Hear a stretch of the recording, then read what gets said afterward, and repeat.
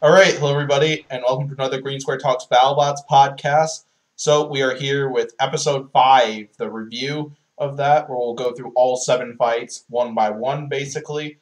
So yeah, I am here with BBN Podcast, Civilian Arc, Blaze Gaming, and Smurf, and technically the Doomba team as well. But the Doomba team was only here for the double tap Doomba fight because they're currently getting ready for Motorama in the upcoming days, along with doing a little bit of work on the up on the new version of Doomba, at least, since they are looking to apply and bring back Doomba for next season. So uh, that's basically going to be in a separate segment that is going to be edited in between the Fusion Witch Doctor discussion and the Riptide Mad Catter discussion. So it's going to look a little different because we recorded that on Zoom rather than Discord, but you get the idea. It was great having the Doomba team on, and yeah, so you definitely check out all the co-host links right down below in the description, as well as Doomba social media info, YouTube, merch site, all that fun stuff. But how's it going, all four of you? Yeah, I'm I doing like how you broke the fourth wall. Let's break the fourth wall, guys. Fourth Fourth wall. wall breaking speedrun. Yo. Oh, I don't even know what you're referring to, but uh, whatever. when you were like Oh. telling the audience that oh, it's gonna be Neither edited and be weird Oh, yeah. because it's on Zoom. Yeah, we're A little, di- little different since we recorded that bit on Zoom, but yeah, it was fun having the Doomba team on regardless. So I Wow. smell my my roommates making popcorn right now. yeah, popcorn sounds great right now. popcorn. Wait, But- Yeah, they're not important supposed to be question. Pack, unfortunately. What's the, what's, what's the best drink What? to go with popcorn? What's the best what? Um, The best drink to go with popcorn. great question. I That's a I good you want sort of like a you either want something that's like more powerful of a flavor or like more muted of a flavor. So I would say either root beer, Coca Cola, or ginger ale. That is all base. I would support the first two. I'm not a ginger ale fan, those are fair. but that's I just love me. ginger ale. I know I have siblings who are a big fan of ginger ale, but yeah. Before, Or, or Dr. Pepper too. Oh, Dr. Pepper's a good choice, too. But before we start talking about Minotaur free shipping, even though I know some of the, these guys are probably going to gasp about this, uh, basically there will be spoilers about this episode. So if you haven't watched the episode yet, uh, unless if you want to hear us talk about the matchups and share lots of the results of this stuff, I'd recommend watching the episode first or watching Yeah, the fight somewhere else get your first. I, mean, I So- didn't know there was going to be spoilers. well, too bad, Blaze. Cry about it. Oh So- no. Oh no, I will cry about it. Anyway, let's go ahead and start talking about the first match of the episode. So now my boy Minotaur made its return to the arena after that dominant Oh. victory over Tantrum off, He's and not they're your child. well, too bad. Bad. I, I, it was one of the first robots I truly became a fan of, but yeah, it's taking on free shipping for this one, who had a relatively solid victory against Gigabyte, debuting the ver- their new spinning weapon in for that fight and brought it back for this one. And definitely, we got quite a showing from not just Minotaur, who ended up coming out on top in this fight, but we got some moments out of free shipping in this fight too. So great to see both both robots with some action. I'll leave the floor to you three. What do you three got to discuss about this one? I'm gonna be honest. I was worried that free shipping was gonna win uh, the fight against Minotaur. Uh, after seeing that first uh, first like minute or so, with how with how that I'm I'm I'm struggling to English guys. Forgive me, please. We'll, we'll forgive you. Okay, thank you. Um, but uh, what I'm trying to say is that I thought that free shipping was definitely doing a lot better in the first part of the fight rather than the latter half. Sure. Civ or BBN? Uh, okay, so this fight was, uh, this fight was a little silly. We, we saw, we saw some free shipping shenanigans ensue. Um, Shenanigans. Minotaur, Mm-hmm. Minotaur Shenanigans is right. Minotaur Yeah, decided, is right. Minotaur decided to be a cool robot and beat up free shipping. Uh, this was kind of just like a fight that happened. Um, No way. really That's crazy. Can you confirm that it happened? uh, it's uh,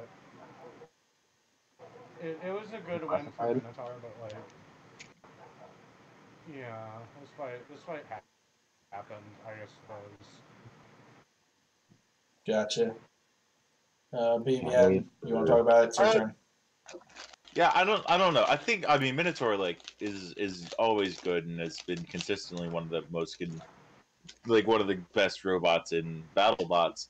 I wish like there was more damage, like it's like the pace of they were going at the beginning of the game, like the beginning of the match was get the wedgelet, get start working on that tire, and then at the end of it, it was like, well, we got the wedgelet and the tire. That one tire was the only thing off.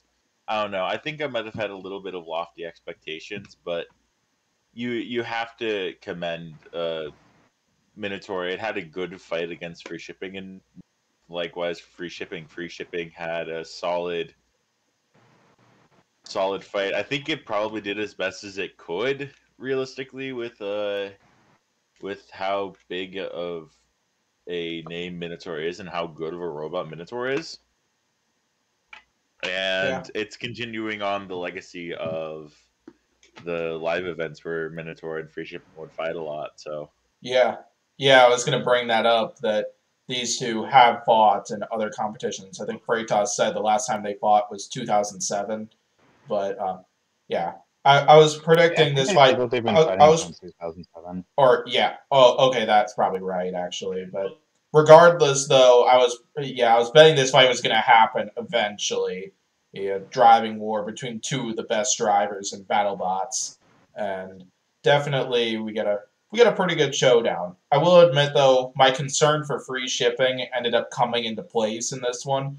The big thing I was not impressed with the free shipping was that vertical spinner does not seem to do a lot of damage though, because uh, no, because even though I think that's not really like the main purpose of it exactly, but like Min- Minotaur Minotaur's armor is mostly aluminum, and I think it'd be easier for free shipping to get through Minotaur's armor than Gigabyte stuff. And free shipping did get a couple of shots in, but there wasn't a lot of damage done to Minotaur in that one. And like, of course, there might there might have been something we didn't see, of course, because yeah, but uh, yeah, the free shipping did get a couple shots in, but just didn't do very much to my liking, at least. I think it's uh, partly because you know Gary, Gary Jins usually used all these like Oh yeah, control bots that so new to like the concept of like damaging weapons yeah, because like the Yeah. the point I was next gonna bring up is that like one, it might be pretty much what Civilian Art just said right there. Because Gary Jin, I think this is one. This is one of, if not the first times that he's used used a spinner in the arena. The other reason I was thinking of is maybe there are teething issues with the spinner. We've seen that that was a very common thing with rookie r- robots this year. There are lots of them having teething problems with their weapon. Maybe that was going on with free shipping or something like that. But regardless, though, we got to, we got to see some some really good driving moments from Gary Jin, and he got a couple moments in on this one, but eventually it was just the power Minotaur's drum spinner was just too much for free shipping. Got a wheel, busted both the wedgelets, eventually knocked off the vertical spinner, and I'm guessing free shipping got high centered on debris based on what we were seeing right at the end there, because like it drove right into a short corner and then stopped driving thing when it turned. My guess is it probably got high centered on a broken piece of free shipping or something, because I think there was mo- there was signs of life from at least one of those three wheels left, but yeah, you kind of get the idea. It was a pretty good victory by Minotaur and free shipping. It at least it, it, it did it did put up a pretty good fight against Minotaur, like BBN said. Well, now let's talk about their next opponents, unless if y'all have something else to say. Uh, where free shipping is free shipping has Hydra for its next one, a rematch from from a couple seasons ago. Minotaur also is a rematch from the same exact season as free shipping and Hydra. Uh, rematch with Cobalt, which was one of my favorite fights of 2019. So, uh, what are our thoughts on those ones? So uh, this is this is one of the most. So I'll go with free shipping. This is one of the most unnecessary rematches of all time. Um, I do think for the most part, Hydra has a good, like, tough schedule for this season, which you know deserve it. But this is definitely the exception to that statement. Um, I don't, really see anything free shipping can do. Um, I think Hydra is just gonna flip free shipping around for like.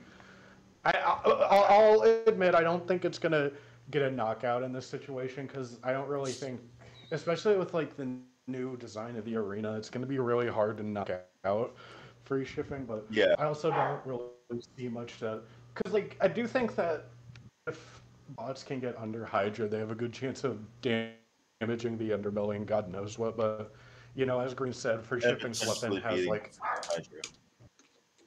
free shipping's weapon like so, so far hasn't shown a ton, which definitely does have some discredit to it. So I'm gonna go Hydra here.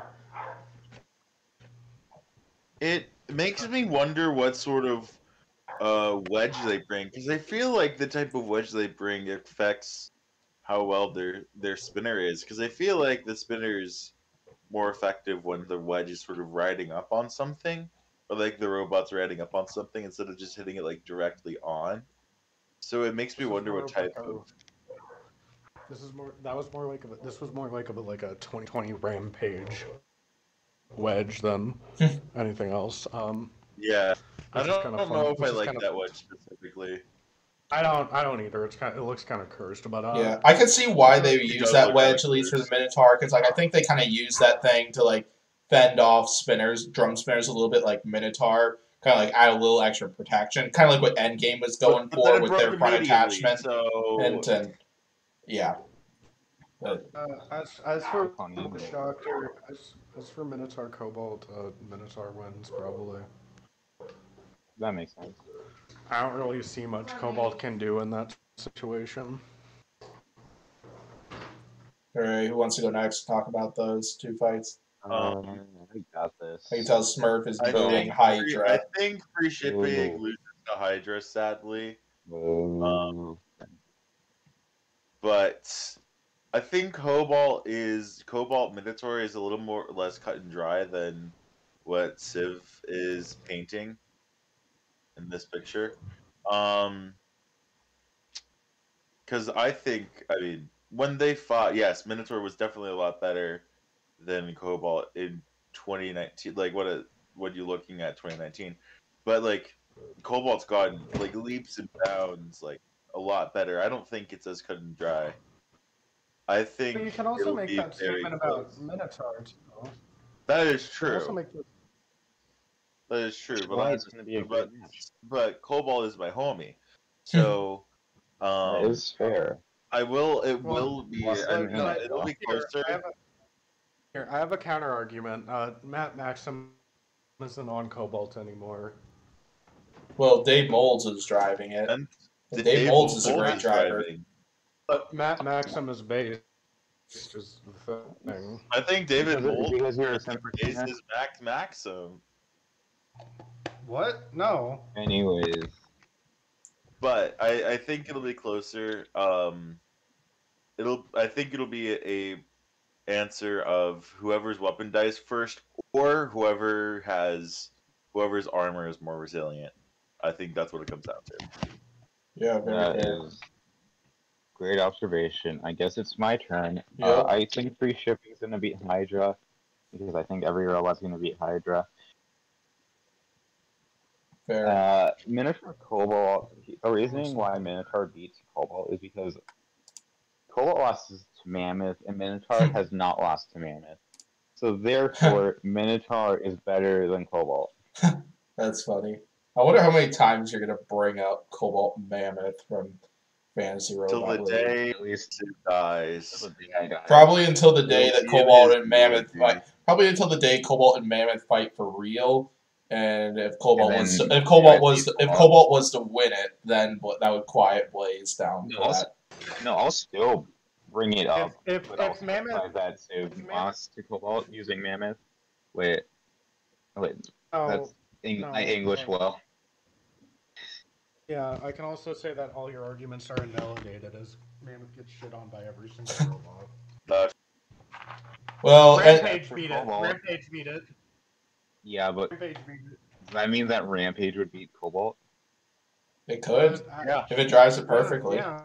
I mean, But anyway, as for my takes on this, then uh, free shipping and Hydra, I have to go Hydra on that one. Like Gary Jin would need to drive that fight perfectly in order to win that fight and just be absolutely like clear that flipper. Because there's no doubt if they go head on, in my opinion, I think Hydra wins the ground game pretty easily there and would likely toss free shipping around for a while until free shipping either gets stuck upside down or just loses drive. Like I think odds are definitely in Hydra's favor of winning that fight. But I would love to see free shipping pull it off, though. Like I think that would be, it'd be great to see. Because like the first time they fought, uh, free shipping I felt was initially winning that fight, like doing a great job avoiding the flipper and getting getting some getting some decent control in the sides of Hydra. If We could do something like that and incorporate the vertical spinner a little more, or than what we were seeing in like the in either of these two fights. Maybe free shipping could pull it off, but as of right now, I gotta say Hydra for that one. Minotaur Cobalt, I'm predicting that's the main event for that episode. I don't remember what fights are all what uh, what the other fights are in that one, but like that's a rematch of one heck of a fight that was in 2019. In several huge hits and just lots of damage caused by both robots. As for what I think, of course, I'm going to predict Minotaur for that one. It's one of my favorite robots, Sim. and uh, Simp. yeah, so, uh, but basically, how I see this one going down, it's either Minotaur's going to bend the wedgelets up on Cobalt, enabling them to be able to get underneath Cobalt easier, and Cobalt not being able to get underneath it. Because the big concern for Minotaur, which this is probably Cobalt's big method of victory in this one, is that if Cobalt gets underneath, they could they'll go right through that bottom piece or top piece or whatever it is. Like Col like yeah, because I, I don't think Minotaur would be able to last a couple of a couple of huge hits from Cobalt, but I could be wrong about that pretty easily. Just we know very well how devastating that weapon on Cobalt is, and I'm not sure how many shots Minotaur could survive from that thing on the, like their bottom or uh, un, on their underside top or whatever. So, but if they go weapon on weapon though, that's a little different though, like what we were seeing many times in their first fight. I'm going Minotaur for that Okay. fight, but I definitely think that that one could that I definitely think that one could go either way. So, That'll be fun to see. oh yeah, I think it'll be great. By the way, it's episode seven, and Episode seven. Oh, that's not far one away. That's the episode after next after the next That's one. like, so That's in two weeks, and the Yeah. only fight that really I could see being the main event in that episode, other than this, is uh, Bloodsport Gigabyte. But I predict that's Oh, gonna be the. that's I'm, gonna I'm be- gonna predict. I'm gonna predict that. fights I'm gonna predict. this season. They're Can't gonna give him. I'm predicting that's gonna be the lead off fight. But when Gigabyte oh my is so goodness, bad, Gigabyte's gonna go 0 and 4. When when Gigabyte's so bad, Mantine's fully admitting Gigabyte sucks. Then you know we're in for a. A bad, a rough season. well, anyway, unless if y'all have anything else to talk about with this one, we'll move on to fight number two. Let's go. I, I actually do. I actually do have. I What you got? Do have a question. Uh, how much did you pay to have them rig the fight for Minotaur to win? A million dollars. Damn. Wow, you have that Like, much. yeah, like you money, had that kind of money. Yeah, yeah. I, me, a college student who's currently on a co-op, definitely has a million dollars right now. So, and definitely Yeah, use I all, and definitely I use you. all one million of that to rig BattleBots. Hopefully, you can see the sarcasm in that. No, no, no, no, no. That's pretty believable. No, that's not sarcasm. Yeah, That's believable. No, that's facts. That's factual. Gotta gotta love my sarcastic tone. But let's move on to the next fight. Oh yes, this one. Big shame that Pori's not here. His Yeah. Next fight, Claw, Claw Viper and Ribbot, and this is one I was. this is probably the- this is probably the fight- Here. This is probably the fight on the fight card that I was most excited for because, like, uh, ever since we saw Claw Viper's speedy performance against Ominous, that really got me excited for Claw Viper's fights with Ribbot and Hypershock, who are, in my opinion, two of the other really fast robots. And so, and then these two fought in this one, Green and gonna, we got another beastly performance. And what do you got, Siv? Since I have the fun and based uh, information, I'll throw it in here first. So, Go ahead. Claw Go ahead and talk about the fight. So, so yeah, so this fight happens, and you know, Claw Viper's a very speedy robot, and you know, one of the hits, Claw Viper actually rams Ribbot into the wall and damages the wall. Like, they have to fix the wall. Like, they got it. It was like stuck out of place or something, and it, it took them like 15 to 20 minutes to actually repair that thing. Like, Claw Viper's drive is insane this season.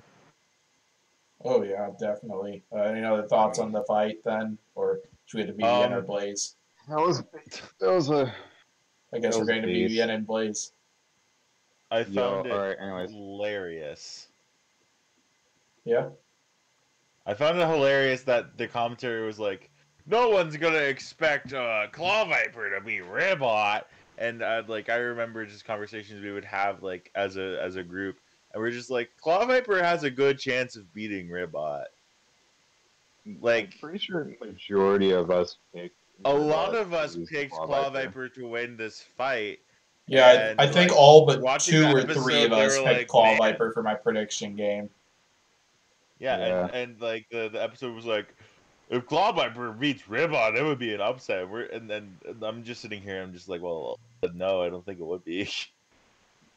It would be. I- a I- I- but you'd bump it I'm gonna, I'm gonna disagree. I'm gonna, I'm gonna, I'm gonna throw my hat in the ring here and say, uh, yeah, that kind of would be an upset just based on how both bots have performed. Yes, like a claw viper Previously. against, but, like Yeah, like, obviously, previously. like isn't like shock after you see like the claw viper ominous fight, but like claw viper just beat a bot that you know is very notorious for like being able to square up to lifter and control robots, and Claw Viper Did that? like Just look just at And he took care of his robot. ratio- like like I would call that an upset.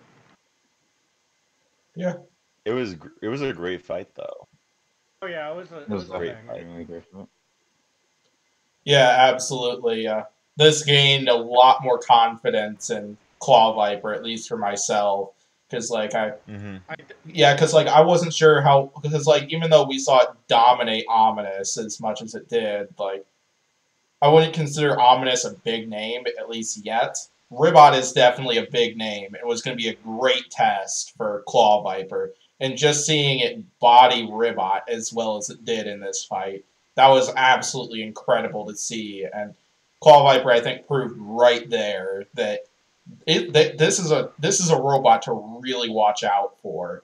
Like I think It I think is. I think David I- Jin did I- do a really good job driving in this fight. Hey, like even with losing drive on one side, because I think he did do a pretty good job of staying squared up to Claw Viper for the most part. But just uh, but just keeping up with Claw Vipers was just so is just so tricky. And like for the most part, he did do a great job at it, and we did get to see quite a few good hits from the vertical spinner. Kind of like the other thing I thought of at least when after I watched this fight, or, but uh, I was surprised Ribbot didn't go with the undercutter for this fight personally, because I, because like I feel if you want to keep up with Claw Viper a little bit, you want the extra control, and Ribbot seems to drive better with the undercutter right there. So, question I'm going to ask right here before we start talking about their next opponents or whatever else you guys have to talk about is: Do you think the fight outcome could have changed if Ribbot went with the undercutter for this one? Uh, maybe. Uh, I think the outcome changes and that the arena, the arena is even more damaged. That's after true. That fight. I think is Claw Viper takes more damage as well. I think Claw Viper takes more damage than it did. Claw Viper Uh, like it takes still took out a decent than- amount of like it still took a decent Yeah. amount of damage, but like I think it would have taken more a lot more damage if they went with the horizontal, but I don't think the actual I think I'm uh suffering win from some- changes. I think I'm suffering from some Mandela effect uh, this fight because I, I could have sworn I thought Ribbot got KO'd here, but I guess I was wrong. Well, they were crab walking for quite a bit of the fight, but uh, yeah, at least on TV it went to the judges. Well, and- but I mean, and well, and and like it. I mean, like it. the it appears different live than compared to uh, TV as well. So, Yeah. for instance, uh. Blacksmith versus Minotaur, round one.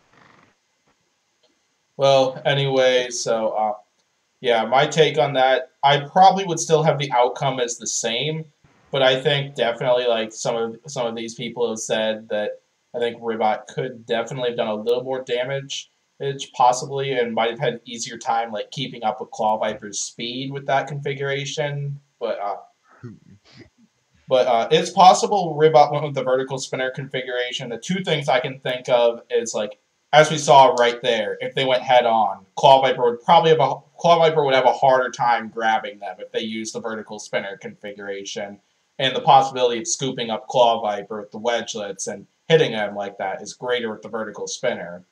But then it's also possible because we know that they were having issues with the undercutter prior to the Witch Doctor fight, which forced them to go with the vertical spinner for that fight. They might have still been having problems with the undercutter or something.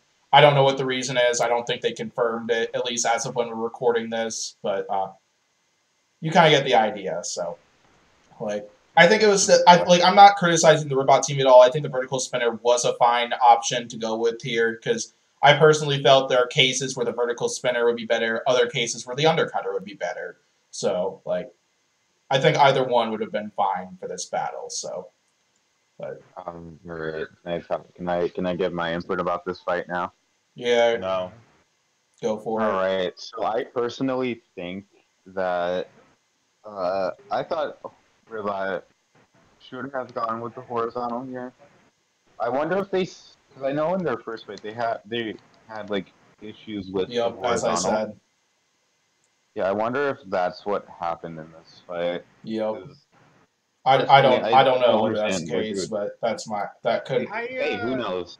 I think You know? I, I, I don't I don't I kind of don't remember what he said, so I'm not gonna say it and look like I'm talking out of my ass. Cause, uh, but I know David Jin did mention why he did that in his like interview of the fight, and like during like the live scene. I don't remember what it was, but I might be wrong. There's something along the lines of we wanted to be impressive to the selection committee, so we wanted to show we wanted to have more confidence in our vert.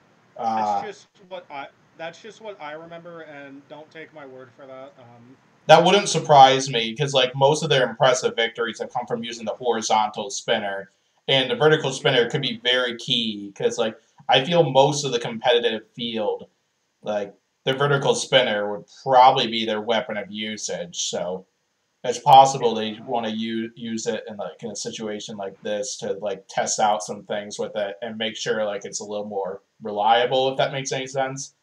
So like that is about that is I would I don't think reliable is the right word that I'm going for. but, uh, Consistent. yeah, consistent's probably a better consistent's a much better word. Yeah. But regardless of what Civ said, what Civ said, I think definitely is a possibility.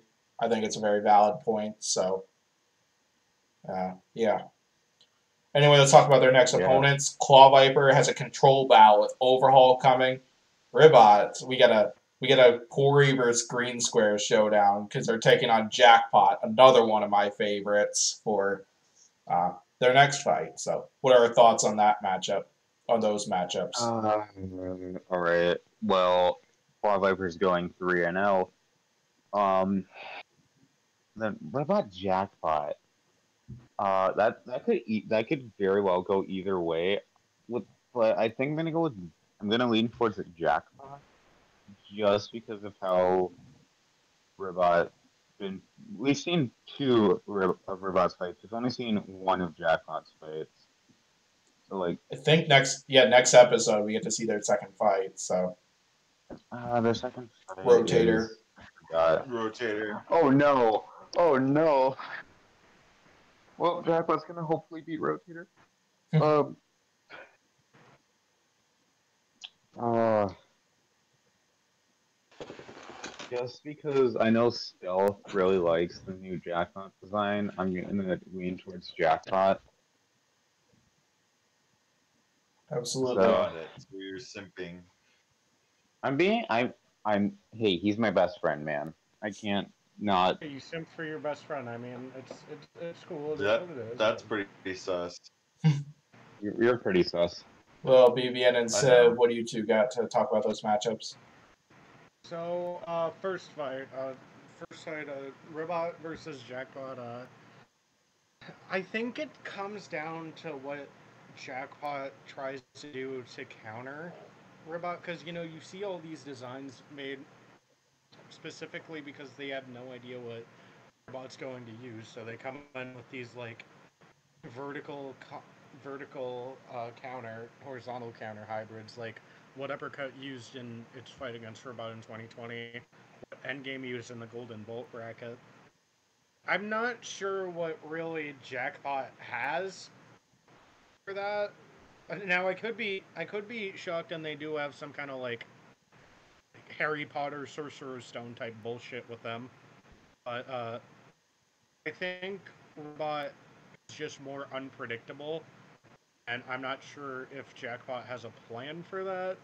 Again, could be wrong, but I think I'm gonna go for Ribbot here. Uh, Claw Viper Overhaul. Um, I mean, I do think Overhaul has definitely improved from past years, but Claw Viper's just improved so much more, and it's much faster.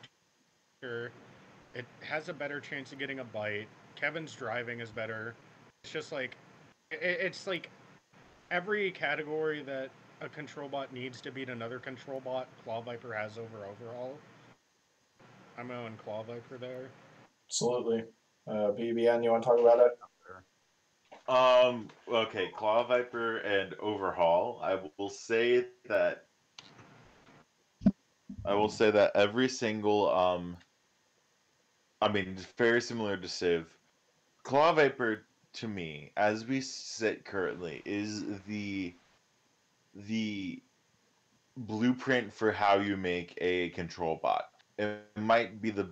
I think it is the best control bot that we've like we are seeing in the current game. That's very easy to say, 100%, very easy to claim.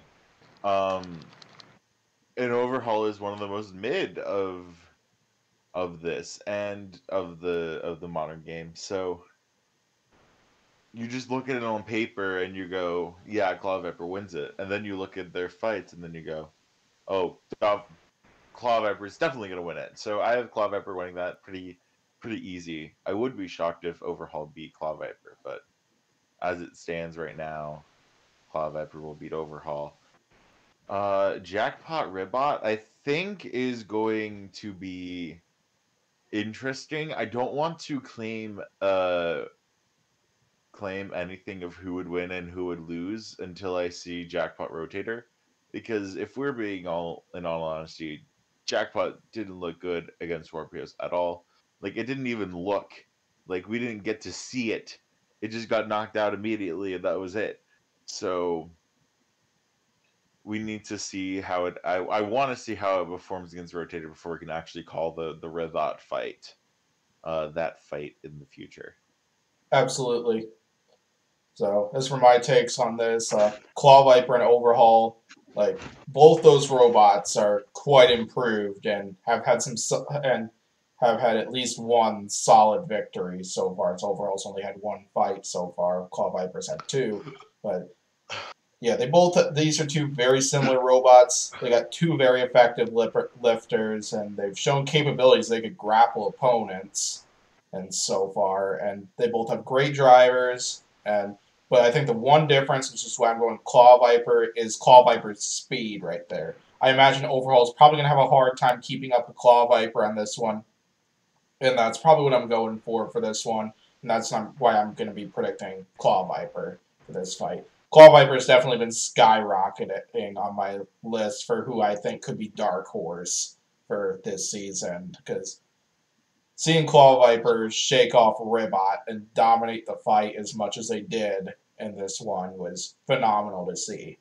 As for Ribbot Jackpot, Ribbot's definitely going to be coming out swinging in this fight because they're kind of in a hole right now, and I think that Jackpot fight is going to be a must win. It could be a must win for Jackpot as well because they have their next fight coming in the next episode with Rotator. If they lose that fight, they're also going to be 0 2. for this one. I think it's going to depend on what Ribbot goes with for this fight, and I'm going to predict they're going to go with the undercutter for that fight, if that is an option for this one, or if they want to do more with the vertical spinner for this fight. Because, like, Skorpios talked about this a lot eh, within their videos, at least recapping or pre-fight with with with Jackpot right there. Talk about how they were worried about the reach Jackpot spinners right there, possibly clipping something. And that's my concern if Ribbot goes with the vertical spinner right there and wedgelets, because I think Jackpot will be able to pluck those off. So I think the undercutter would be a wise choice for Ribbot. But as for that, I'm going Jackpot on that one because uh, I think I think vertical spinners Ribbot seems to be having a hard time with, especially the reach game too.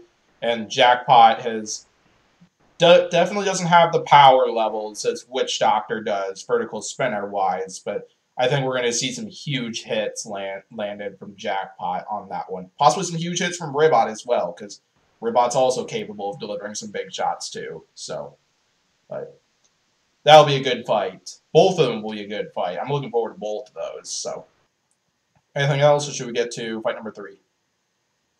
Okay, so Lockjaw and Sawblaze, a battle between two big names. One that some could arguably say on paper should have been the main event for this one, since Sawblaze and Lockjaw both been involved in this, both have been involved in the sport for a long time, and like Sawblaze has been a big name for the past few seasons. Lockjaw's technically been a big name too, who, but like Donald Hutson's a legend, so uh, yeah, we got a pretty interesting showdown here. Lockjaw or Sawblaze came in with a new fork setup for this fight, they thinking that possibly Lockjaw could outwedge Sawblaze. So they went with a new fork design that supposedly is even lower, apparently. Lockjaw came with no forks. Not sure if that's because they needed the weight for extra top armor, like what Chris and Kenny said, I believe, or if they wanted, or if they were possibly just going to or if they were possibly just going to play the reach game this time, because like it's very hard to get underneath Sawblaze. So maybe playing the reach game would not be a bad decision here.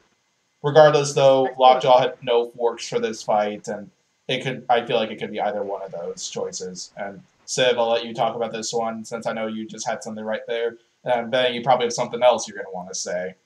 So, please that you mentioned to us earlier.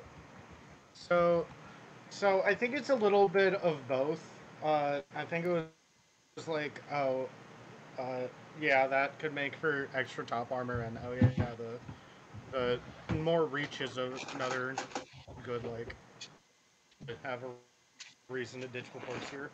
I think uh, I think Lockjaw's strategy was I understood why they did it because I don't think Lockjaw is getting under Sawblaze anyway, so why bother? Um, I think I, I I understand why Lockjaw did that, but uh, yeah. But this is also another fight where, surprise, surprise, the arena was damaged. The freaking Sawblaze, and you can see in that picture that um, the screws that Lockjaw and Sawblaze are right at. Sawblaze damage uh, the screws, or Lockjaw and Sawblaze damaged the screws. The point where they were stuck and they had to like fix it. So yeah, Sawblaze's drive is insane. Claw Viper's drive is insane. Everyone's drive is just insane. Absolutely. Well, Blaze, BVN, you two want to talk about the site? While I pull up the uh, Sawblaze um, recap. Yeah, I got it. I'll get this. Um, you also have to. I also agree with like Lockjaw with their decision for what they did, getting top armor and trying to get reach. When you look historically, some of uh, uh, Sawblaze's big losses were against robots that didn't have ground game but had a very strong vert.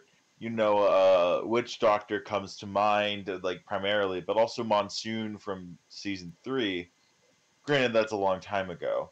The like, but that's those like... were two robots that didn't really have wedges or ground game, like a ton of it, but they had um, they had reach, and they were able to get to the sides, and they were able to do a lot of damage to to uh, Sawblaze.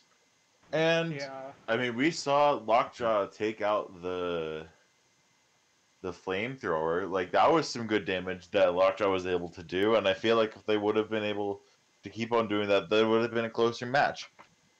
Um, but Lockjaw's weapon isn't on par with Witch Doctor's weapon. Like we haven't seen those big hits that like we see from Witch Doctor. So while I agree with it, uh, I still think that it was the outcome that I still ended up expecting.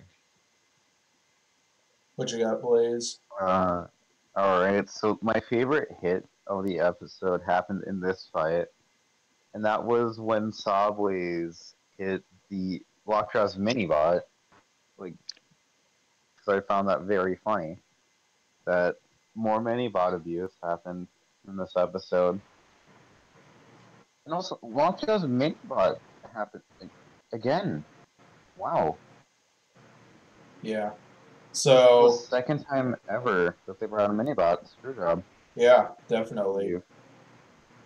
Yeah, and so as for my takes on this, before I start talking about a little bit about the damage report that Sawblaze posted on Facebook earlier, probably on Instagram as well. Uh, yeah, the outcome, the outcome, like I thought, I thought Sawblaze is going to win this fight, but uh, I thought Lockjaw was going to have some good moments, which it did have in this one.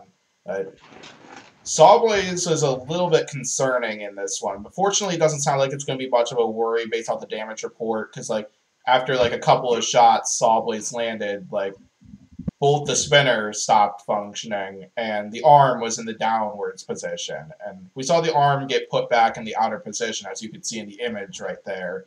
But the saw wasn't spinning for the rest of the fight right there. I was wondering what was going on there, whether Lockjaw damaged something important that rendered that stuff useless or not. But sure enough, that didn't seem to be the case right there. It sounded like a technical issue with some of the safety features actually in Sawblaze from the sounds of it because they posted they posted a damage report where basically that big hit that caused their arm to be in forward position and the saw to uh, be shut down for the rest of the fight basically basically their weapon receiver dropped out and where they lost control of it for a little bit whi- for a little while and it had to reboot basically and once it got once it got rebooted, basically they were able to get the get the spinner going once again, which apparently didn't happen because Lockjaw eventually got put back up.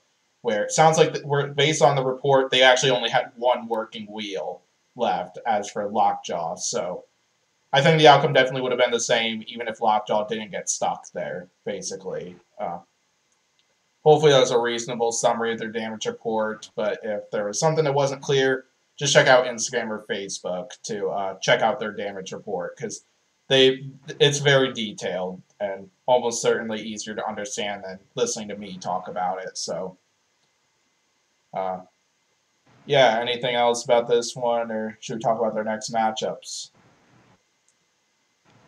Okay, next matchups. Lockjaw takes on Glitch for their next fight, and Sawblaze takes on Skorpios in a matchup that I know many fans have been wanting for a while. So I gonna. let's talk about let's talk about those Uh, matchups. Civ is gonna love the, Oh, wait. the probably Skorpios fight. Oh yeah, you definitely will. You're gonna enjoy it, aren't you? Aren't you gonna enjoy it, man? Aren't you gonna It's gonna enjoy be it? so brother, I, fun. Anyways. brother, brother, if that if that becomes the main event, I'll uh just I stop. probably will, honestly.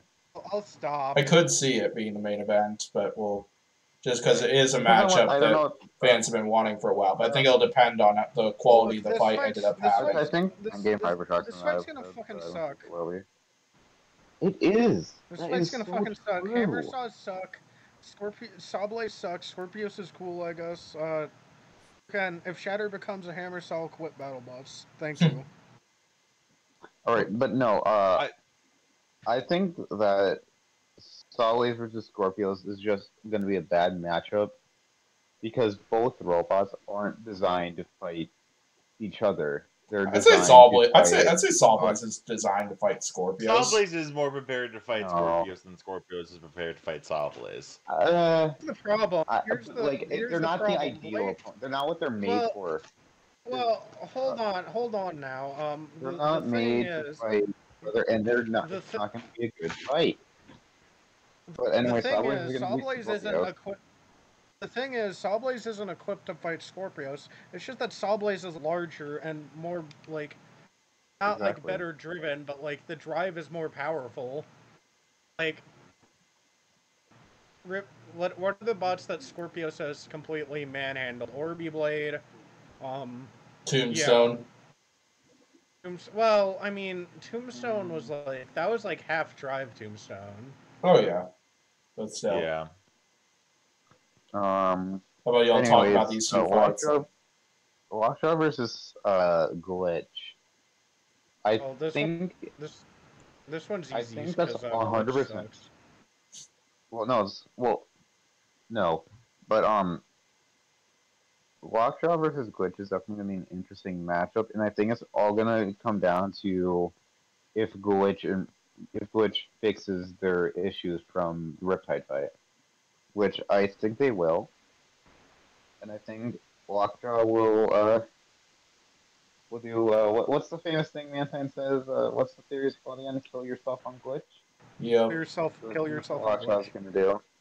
Yeah, Yeah, kill and then yourself on Sawblaze is going to beat Skorpios because Sawblaze is bigger, uh, bigger. It has better ground game and a better weapon. BBN, what do you got? Um, great question. I think Lockjaw is going to to win, and Glitch is gonna do glitch things and be glitch and die immediately. Um, that that one's a pretty easy one. I think Sawblaze and Skorpios is going to be fun regardless of what happens, regardless of what Civ thinks about that fight in general. I love hammer saws. Hammer saws are fun, but uh because they're they're tactical but also can be deadly. So I, I enjoy that very much. I think I'll have to put Sawblaze uh, on for the win column there. Though this fight does raise a little bit of concerns because of what happened at the end with their spinner and their and their uh, hammer part. Yeah. You know. So my takes on this lockjaw and glitch, that's going to come down to driving right there. Because like glitch's drive didn't look the best against Riptide, and hopefully they get that fixed. But we're not going to see another glitch fight until this happens, because this fight is on this fight happens episode nine, which and that's glitch's second fight. So, uh, yeah, that's kind of all we have to really look upon for as for predicting this fight as for glitch. So, uh, but I'm picking Lockjaw for this fight because as of now, Lockjaw's drive has been pretty good. I think Donald Hutson definitely has the driving ability to try to outmaneuver Glitch if it does start if it does have drive problems like what we've seen in the past with Glitch. So that's my bet. But if but if Glitch gets their drive working and they go head on with each other a bunch, I think Glitch probably wins those exchanges. But hopefully we get a good fight out of that. Sawblaze Skorpios like that that, is a fight I have been wanting for a while because like those are t- those are kind of like the those are kind of like the two big Saw robots from from seasons past, along with like Red Devil. But I have to go with Sawblaze with this one because I think they have a huge design advantage in this one. Like I, because like I think the um, some of the only ways that Skorpios wins this fight which I could be wrong about this too, because like th- there is another Skorpios fight coming. Because like next episode they actually fight Big Dill. So, but uh, I, I think the only way is Skorpios probably wins this one. Is-.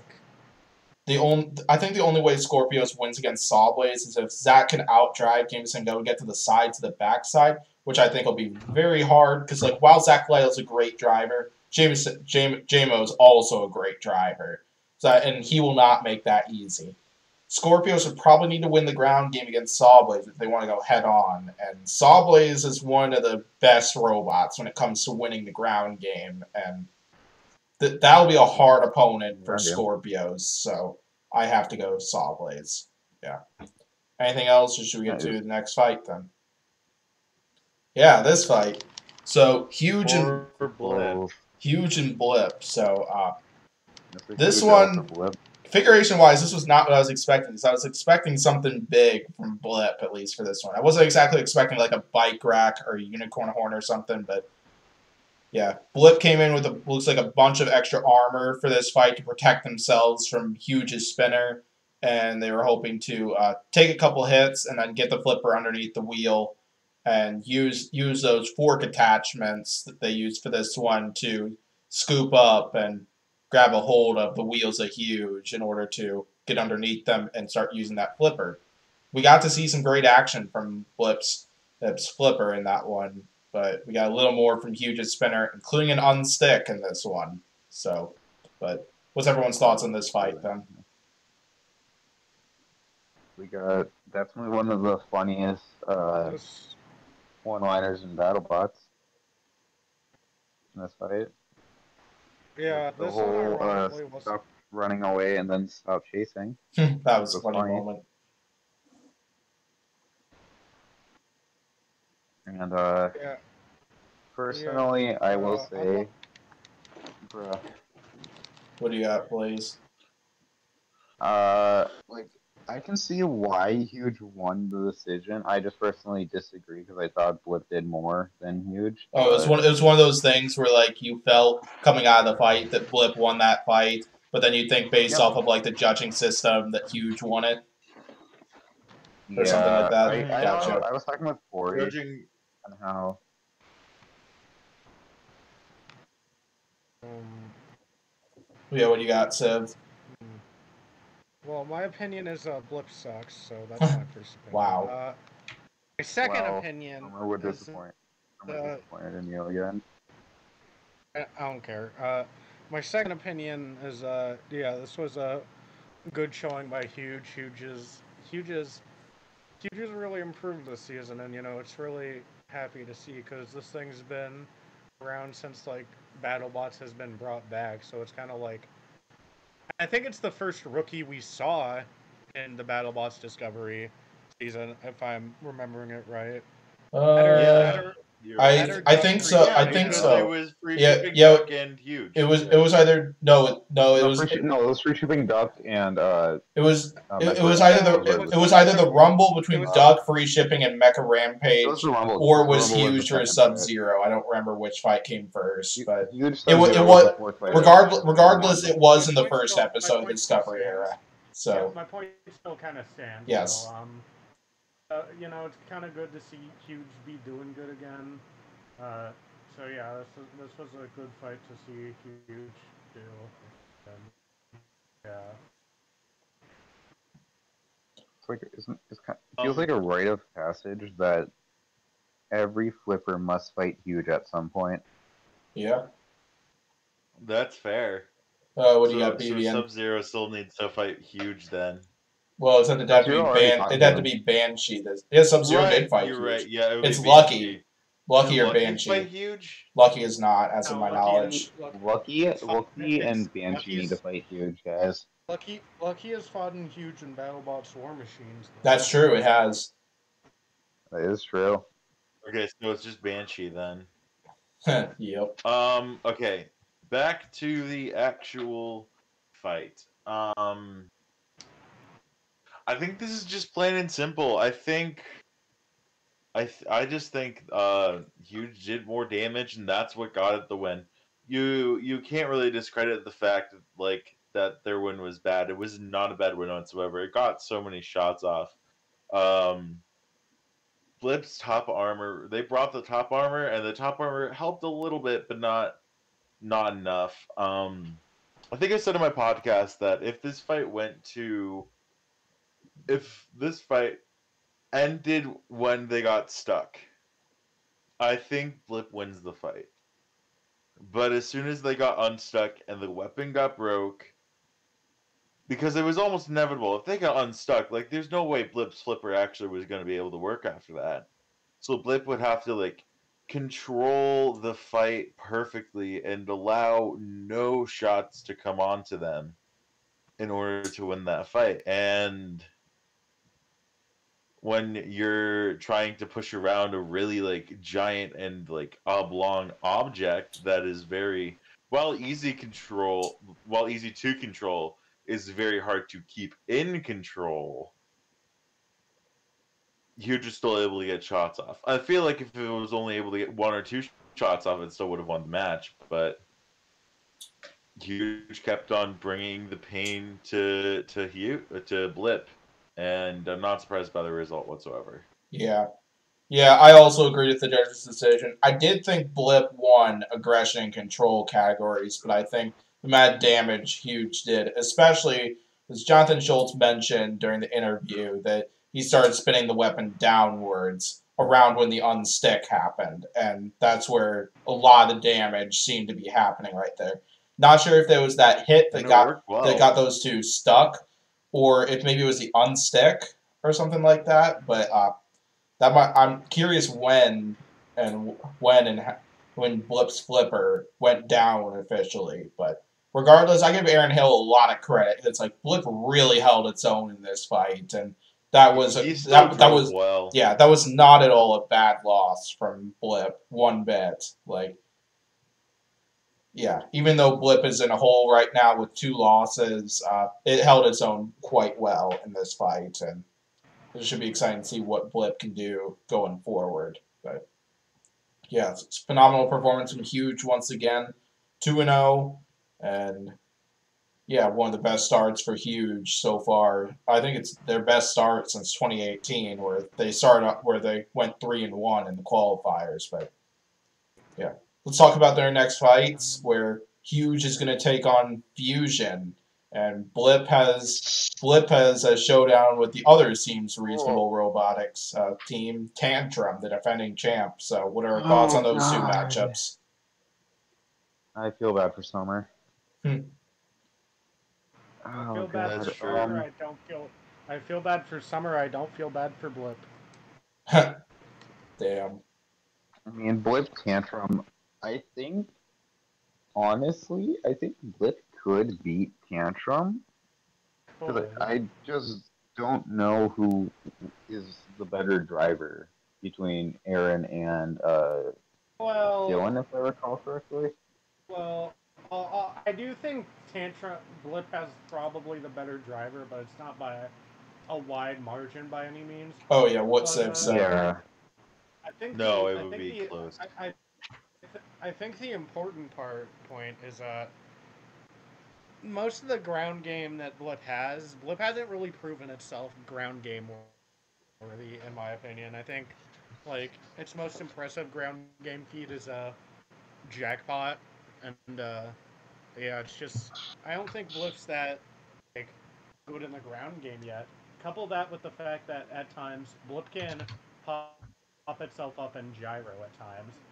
I think it's gonna. I think if that happens once, it's game over. Whereas Tantrum, I think Tantrum can recover through some Blip attacks. I don't really think Blip can recover through Tantrum's attacks. So I'm gonna go Tantrum here because I think Tantrum can survive more of the punishment than Blip can. Absolutely.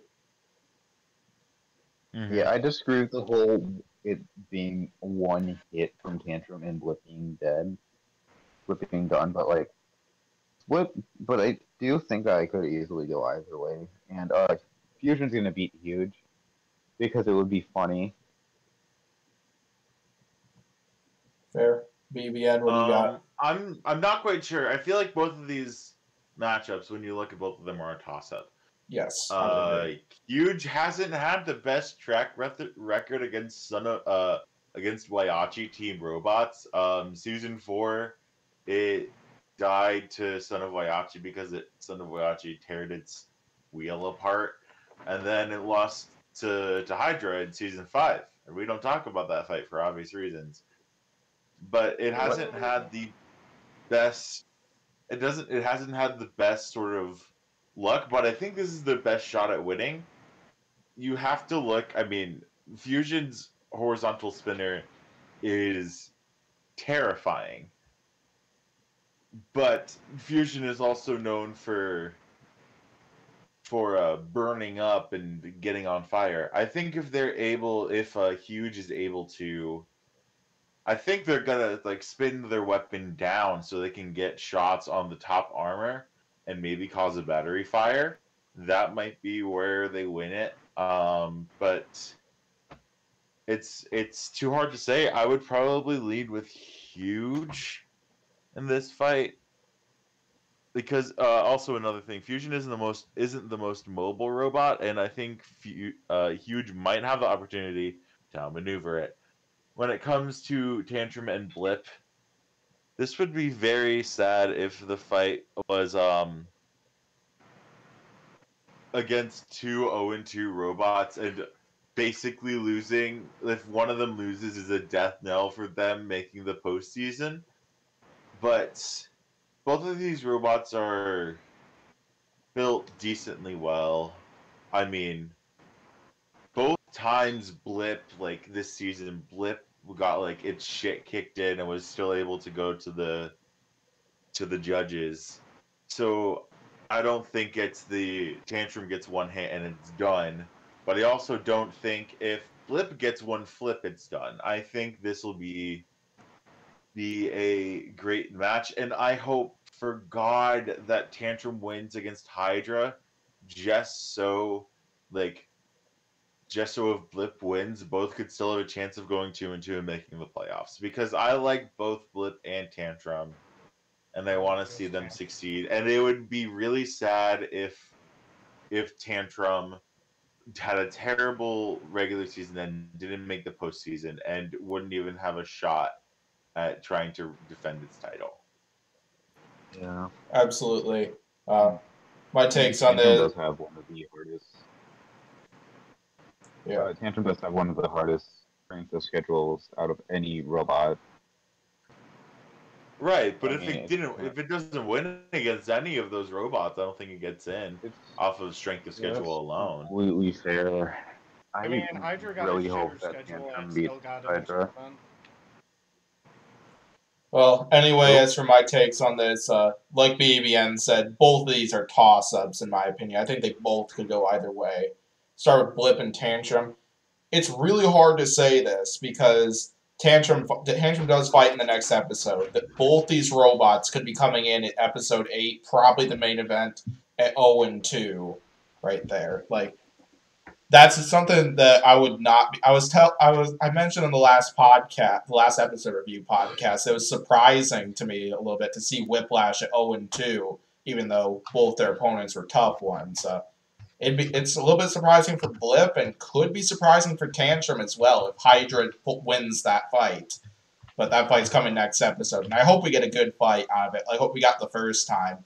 Not going to talk much about the decision or anything. I'm gonna hold my comments on that. I don't. I feel there's no need to talk about it. But as for this fight, uh, I'm gonna lean towards Blip on this fight right there.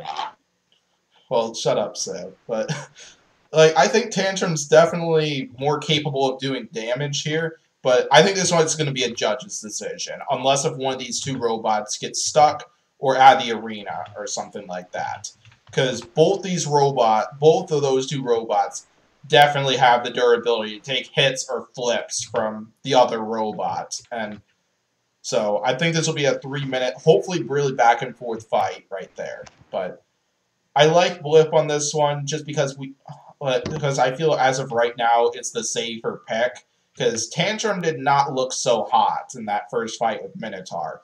Hopefully, it looks better in that fight with Hydra, and we will find out. We'll find out in the next episode. Tantrum had a uh, pretty good start on Minotaur. It had a good start, but like the self rider didn't look that good at least in that one, and they're gonna need it for this Well, fight. But Didn't Minotaur didn't Minotaur damage that self rider? yeah, ba- basically Minotaur got an initial flip, and then Blip was or Tantrum was trying to self right before Minotaur hit it again and broke that piece of the self right that you're talking about right there. And it looked like even with that, it was still struggling to self right. I could be wrong about that because like there was a quick like one second in between that, but like those are just some of my at least observations or theories that I was looking at right down there. But uh, regardless, as as of right now, I'm picking Blip for that fight. But I imagine Tantrum's gonna be coming out swinging in that Hydra fight in the next episode, and just to try to rebound from that loss to Minotaur. And definitely, if Tantrum performs Yeah. well, de- definitely if Tantrum wins that fight with Hydra, you could see me when we bring that, that fight back up for the next episode review. You could see me switching over to, to Team Tantrum as for that fight. Now, Huge Infusion, that's also a toss up. And I think that fight's going to end quickly, too. I see Fusion leading with the horizontal spinner and trying to slice up the wheels, similar to like what other horizontal spinners have done. Because I don't think there's really much that vertical spinner will be able to do for Fusion. I think what's either going to happen is either Fusion's going to slice up the wheels, which is why I'm probably going to go Fusion for this fight. There'll be another reason why in a little in a moment, but I could see Huge pulling this off too, because like as we saw in Fusion and Emulsifier, like it's not too hard to penetrate that armor on Fusion at least. I don't know if penetrate's the right word because like basically Emulsifier managed to break open the top armor, which I believe is what caused the lipo fire in that one. And Huge is capable of doing that too. So but my other concern is for Huge is like take a look at their opponents so far. Like they're good opponents. Shatter and Blip are great opponents, but none of them are spinners. This is the first spinner Huge will be going up against this season. And just seeing and it's the first horizontal spinner it's going up against in a long time too.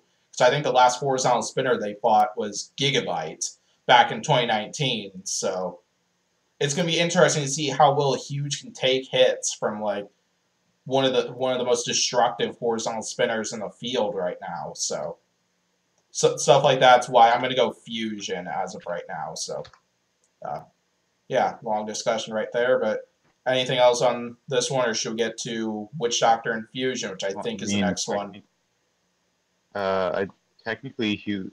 Did, uh, I think technically Huge is the last horizontal opponent was last season in retrograde. Oh, yeah, Malice actually. I suppose retrograde too. Oh yeah. Ma- well, retro retrograde didn't retrograde, didn't use the, retrograde didn't use the horizontal Yeah, spinner against Huge, yeah, I can't but remember if retrograde used the horizontal spinner. In that they did not. They they sacrificed the horizontal spinner for extra Malice. armor. Yes, there would be did- Malice did run well. the horizontal spinner. Yep. Malice is a horizontal spinner, so.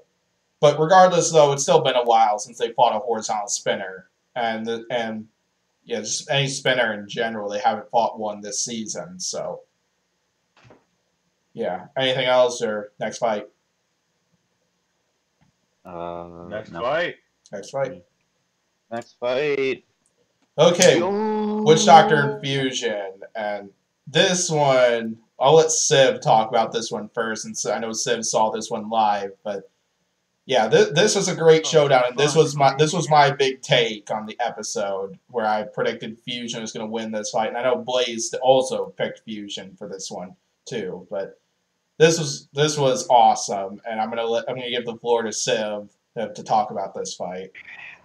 Yeah. Oh god, that fight was a fucking heart attack and a half. I I see.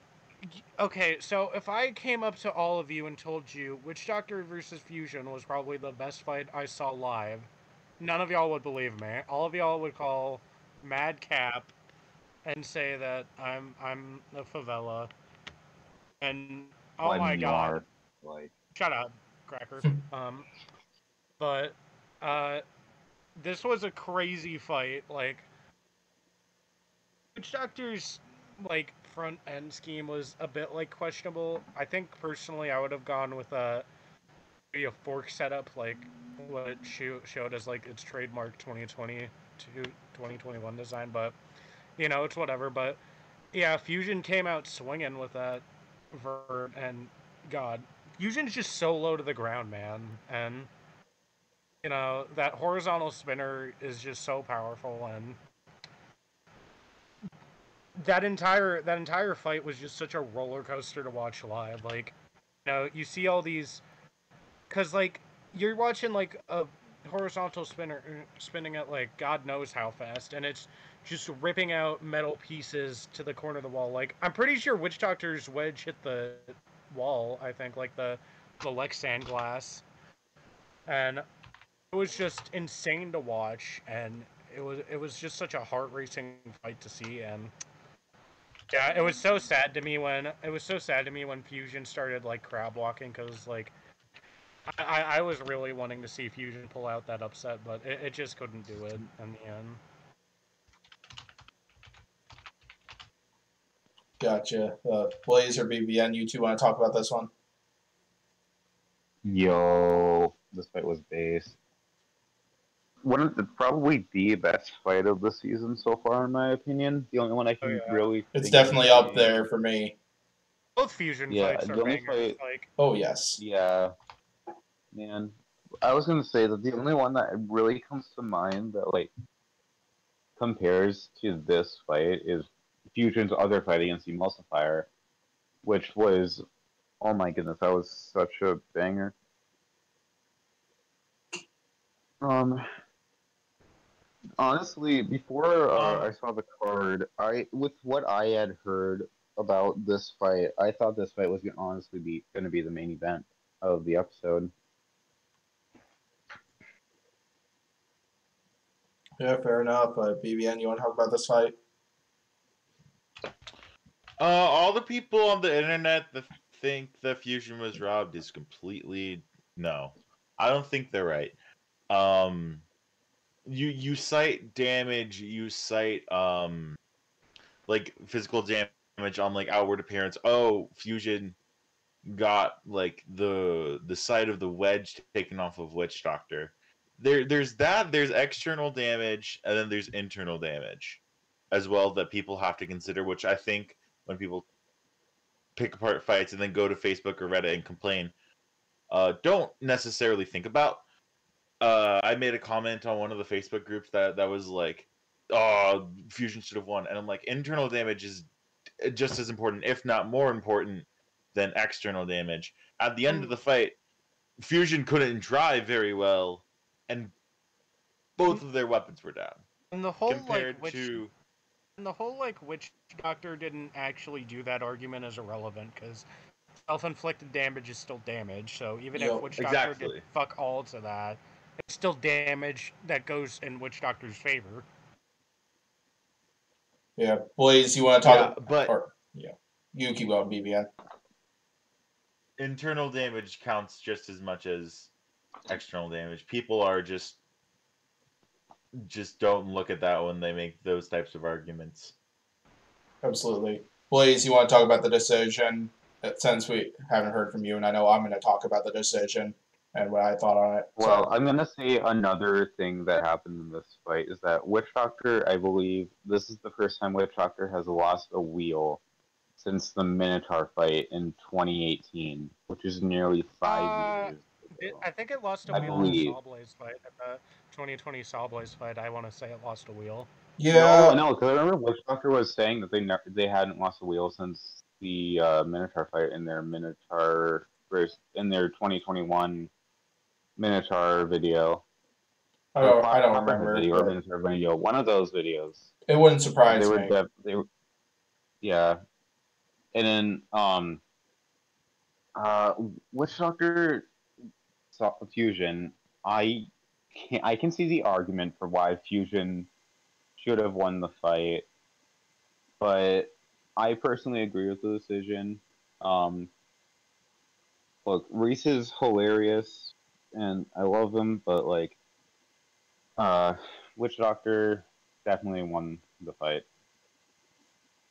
Yeah, Uh, and I, th- I think that I think the crazos on Reddit that bash on the judges for getting it wrong are the only people really upset about it because everyone at live pretty much knew that Witch Doctor won this. Now, were there some people that said that Fusion didn't pull off the upset? Yeah, probably.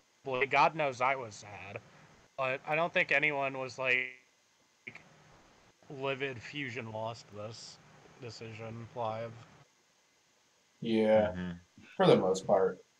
I think I think um Like- also if they thought they won the fight, they could have used their their I'm just going to call it the challenge flag cuz that's the most that's the closest thing to it in like oh, I want to bring that like up. they could I have thrown want to their bring. challenge flag and be like I want to bring that up also. Um, that's actually watching it live. That's actually not the first time it was impl- that it was like asked.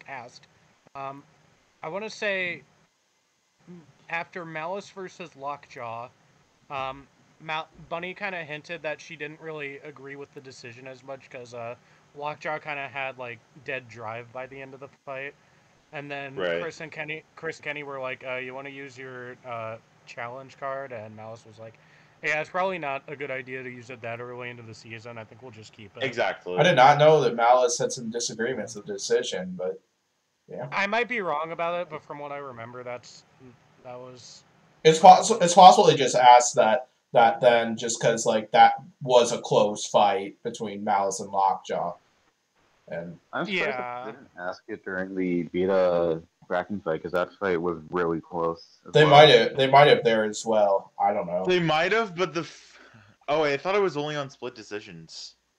oh no, you can use it. Well, I think One Mal- just- Lockjaw was was- unanimous as well. Yeah, because I believe I know in the beginning of the episode they were saying how there has not been a split decision.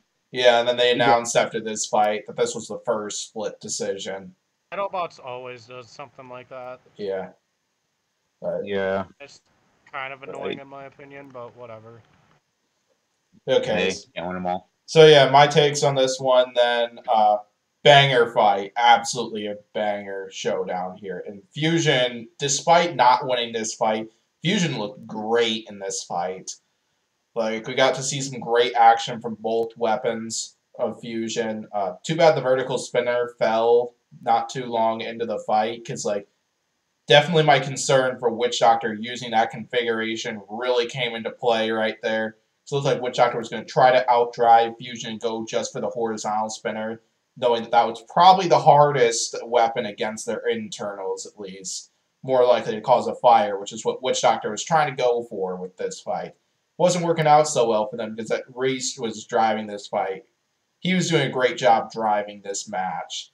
But yeah, after that, we got to see a bunch of action from the horizontal spinner, including some action from Witch Doctor's spinner some hits by Witch Doctor, then the loss of Witch Doctor's spinner, big chunk of the wedge, one of Witch Doctor's wheels as well, and uh, lots of damage basically before Fusion got flipped, lost a horizontal spinner. It looked like they lost a drive motor in there. I think that's what the plume of smoke was, one of their motors burning out, and a lot of crab walking for the rest of the match right there. And regardless, it was a great fight from both both robots. Really impressed me. The amount of damage Fusion was able to do, including it didn't catch fire in this fight. Witch Doctor's durability was proven in this fight, hey, no doubt with how with how how many hits it took in this fight, and was able to still keep running with great drives. So.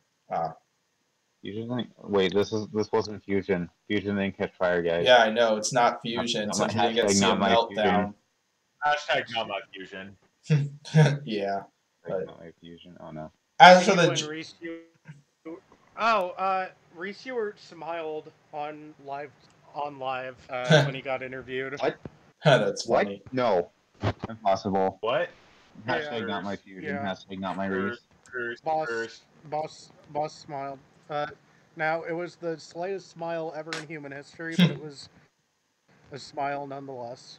But yeah, regarding the decision though, I I'm pretty much with the other three. I agreed with the decision right there. I can definitely see where people are going with that one because like at least from watching it, it looked like Fusion did a lot more damage to Witch Doctor, including had had active weapons for longer in this one.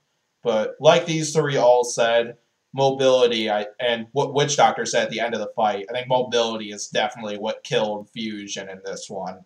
I would have given I would have given Fusion I would have given the Fusion the edge on like uh, I think they controlled a little more the match right there, but I think Witch Doctor wins on like aggression and damage. So I would give Witch Doctor the edge on this fight, but it was a very close fight, and I can absolutely see where people are coming from and why this judge's decision was split. I support Reese's decision to not appeal this judge's decision right there, as I think it. I, I think a combination of that it was such a close fight, it really could have gone either way, and that what if he needs it for a, a decision that's a lot more controversial in the upcoming at least because Especially, especially, especially because of his future two matchups. Because he has huge. Yeah. That's gonna be a hard. That's gonna be a hard match. He's gonna need that shit. oh yeah, even, like- absolutely. Yeah, it's not an easy road Road coming is- for Fusion going forward, but this was in no way a bad loss for Fusion one bit. Absolutely, absolutely. Probably, probably the strongest one in one in BattleBots history. I would I I would probably agree. It- like, it's definitely way up there. So, uh, yeah, uh, let's talk about their next fights. then, Unless if anybody else has anything to talk about here, but I will also. Uh, uh, I act- actually Oh. no, forget that because there's something else I want to say. Like, definitely the community didn't went after this fight less than what they have at least in the at least what they had like after the malice and multiplier, but complaining that BattleBots is rigged in favor of Witch Doctor, bruh. I, I, if some if somebody wants to read out that that copy pasta that somebody was putting in Pori's server, go for it. But, uh, Alright, I'll- got this. Yeah, like I like. BattleBots is not going to rig something like this. As I mean, Witch Doctor might be a fan favorite, but BattleBots does not script this stuff. Like, All right, all right, guys. all right, go for it. Guys, I have the copy pasta ready. This new rule, this new challenge rule, should be called the Witch Doctor rule. They're always giving help to Witch Doctor win by giving it an easy path or setting it free, like the bout with Minotaur, which I have never seen until then. I'm calling it now. Witch Doctor will have a loss overturned with this new appeal rule. I guarantee it. And of course, it will happen under questionable circumstances. Yes, I had to say it in that voice. Yeah, 'cause that's fair. Number fifteen, Burger King foot lettuce. But I, what I what I will say though is uh, Greg Munson when he was on for, on this podcast for the preseason show, uh, he defended that that he defended that decision, the unsticking decisions for the Witch Doctor Minotaur fight as well as the Whiplash Cobalt fight as for why they unstuck Witch Doctor there and why they didn't unstick Whiplash for that fight. He defended those things really well in that preseason show. And I definitely recommend checking that out if you want clarification on exactly what was going on with that. So Well, I mean, that's definitely the best uh, podcast, in my opinion. oh yeah, it was it was so a you great should one. check it out. But let's talk about next fights. We've already talked about free fusion and huge, as we literally just talked about that at the end of the previous fight. Uh, Witch Doctor and Gruff. What are our thoughts on that one?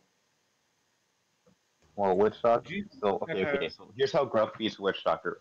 So the Gruff team kidnaps the Witch Doctor team and holds them hostage, and Oh. then they win by by Witch Doctor not showing up. So uh, while I while I do disagree with all the comments about Witch Doctor and Team Witch Doctor Robotics, um, I must say that since all the like schedules for each BattleBot was like pre-chosen beforehand, I will say that they kind of gave Witch Doctor a bit of an easy schedule. Yeah, it's gotten um, Ribbot and Tant Tant no not Tantrum Minotaur. Uh, Minotaur. I will say, like, you know, Witch Doctor's the runner up, and it's gotten two bots that didn't make bracket last season. That's a bit of a. I won't say gimmies because, you know, Gruff is a. Not Gruff. Fusion has kicked ass this season, but, you know, it's kind of. This will kind of be, an, be a bit of an easy fight for Witch Doctor. Sorry, Gruff, but, uh. I'm, I'm personally going Witch Doctor for this one. That's crazy. Blaze or I think this will this will be similar to uh, the the Cobalt uh, Gruff fight, where I just think Cobalt just goes to town on Gruff. which Doctor is going to go to town on on uh, Gruff, and it's it's going to be sad to see just Gruff just kind of lay there, like and just hobble around like an old lady. But you know, I've already said how Gruff can beat Witch Doctor, so But yeah, so my take on Witch Doctor Gruff, uh, Sam's gonna need to drive that fight perfectly. It's like free shipping Hydra, just it's Gruff and Witch Doctor instead. Like Witch Doctor has a huge design advantage in this one. They've looked great. Like in past seasons, you could maybe say Gruff could win this fight by outlasting Witch Doctor, but just look at this fight right here. Like Witch Doctor's durability is incredible this year compared to what we've seen in seasons past. Like Gruff's not gonna outlast Witch Doctor or by like taking punishment and hoping Witch Doctor breaks itself or something like that. So Gruff's going to need to outdrive Witch Doctor and control the fight and avoid that vertical spinner as much as possible. Maybe break the vertical spinner, like what Fusion was able to do here, which I think will be is very unlikely for Gruff to be able to do. I personally would agree with BBN. I think this will be a somewhat a, a bit of a repeat of Cobalt and Gruff here. That's kind of how I'm picturing this fight going. So. Uh, yeah, anything else on this one, or should we get to the next one? All right, next one. Uh, but we're actually going to be transitioning over to the Doomba double tap filming segment. So, but after that, we'll get to the main Wait, event. Hold on, I want, I wasn't, What's up? I, w- I wasn't in this segment, so I'll just say this: double tap undefeated, baby. What? What? I like how you're mocking Mantine. what what cringe what cringeness there was. Yeah. Well, yeah. Anyway, let's get on to the next one. Okay, so now for the next fight here. So you're going to notice this is a little bit different because we're recording a separate segment for this, but I'm choosing to edit. I edited this thing right in the video. We're talking about Doomba versus Double Tap for the for the next part here, and we're here with Doomba. Multiple members there. We got Brice Farrell right up top, then a couple team members right down below. So might as well ask, how are you all? How are you three doing? Doing well. Thanks for having us. Uh, I couldn't hear anything from you two. Yeah, Chris, I can't hear you. Oh, I Hear can hear something. Yeah, There we go. better. There we go. Hopefully, turn the, the mute off. Yeah, I definitely had that before, but yeah, glad glad to have glad to have you on once again because uh yeah we had we had you guys on for the newcomer podcast as uh, earlier, and it's great to be able to talk about this fight with you all. So even if it was a bit short and probably didn't go the way it was intended, but uh, it's still fun regardless to talk about it. So so I was So- gonna say it, it went exactly the way we thought it would go, for better or worse. yeah. Yeah. Yeah, and then BBN, Smurf, and Blaze are all here, and we'll discuss this fight. So, uh, yeah, and so coming in, coming into this, uh, basically, you mentioned this, and you mentioned this in the post-fight recap that uh, you guys were originally supposed to fight Rusty for the first fight. So, I was wondering if you could maybe talk a little bit, about like what that experience following that was kind of like, because like you knew you were originally going to fight Rusty, but then ended up ended up switching over to Double Tap. So Yeah, Yeah. we were super excited to fight Rusty. That's the fight I think everyone wants to see. The two cutest bots going at it. However, Rusty had some engine problems, so we were trying to help him out where we could. You know, we were keeping tabs on him. At the same time, we were prepping our second frame. So we brought two robots this year. One of them was fully ready to go as soon as we arrived. The other one, we still had to assemble a bunch of the pieces together. So we were working on that and just kind of leaving the first frame as good enough because good enough versus rusty is a lot of fun.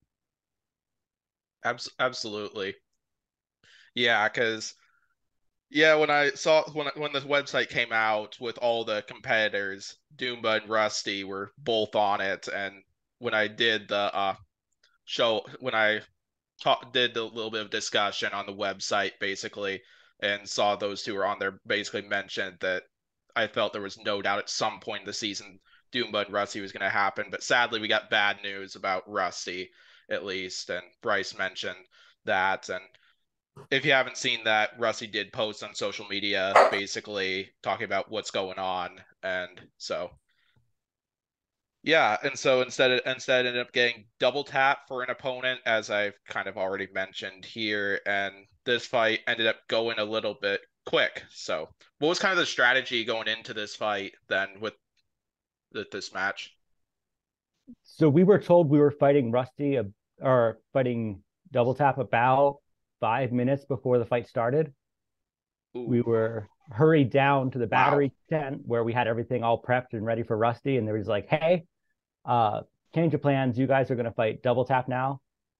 If you don't want the fight, you don't have to take it, but we're going to disqualify another team that needs another, you know, 10, 15 minutes to get ready." So we're like, "Yeah, we'll take it. I just want to fight. You know, fights are always good."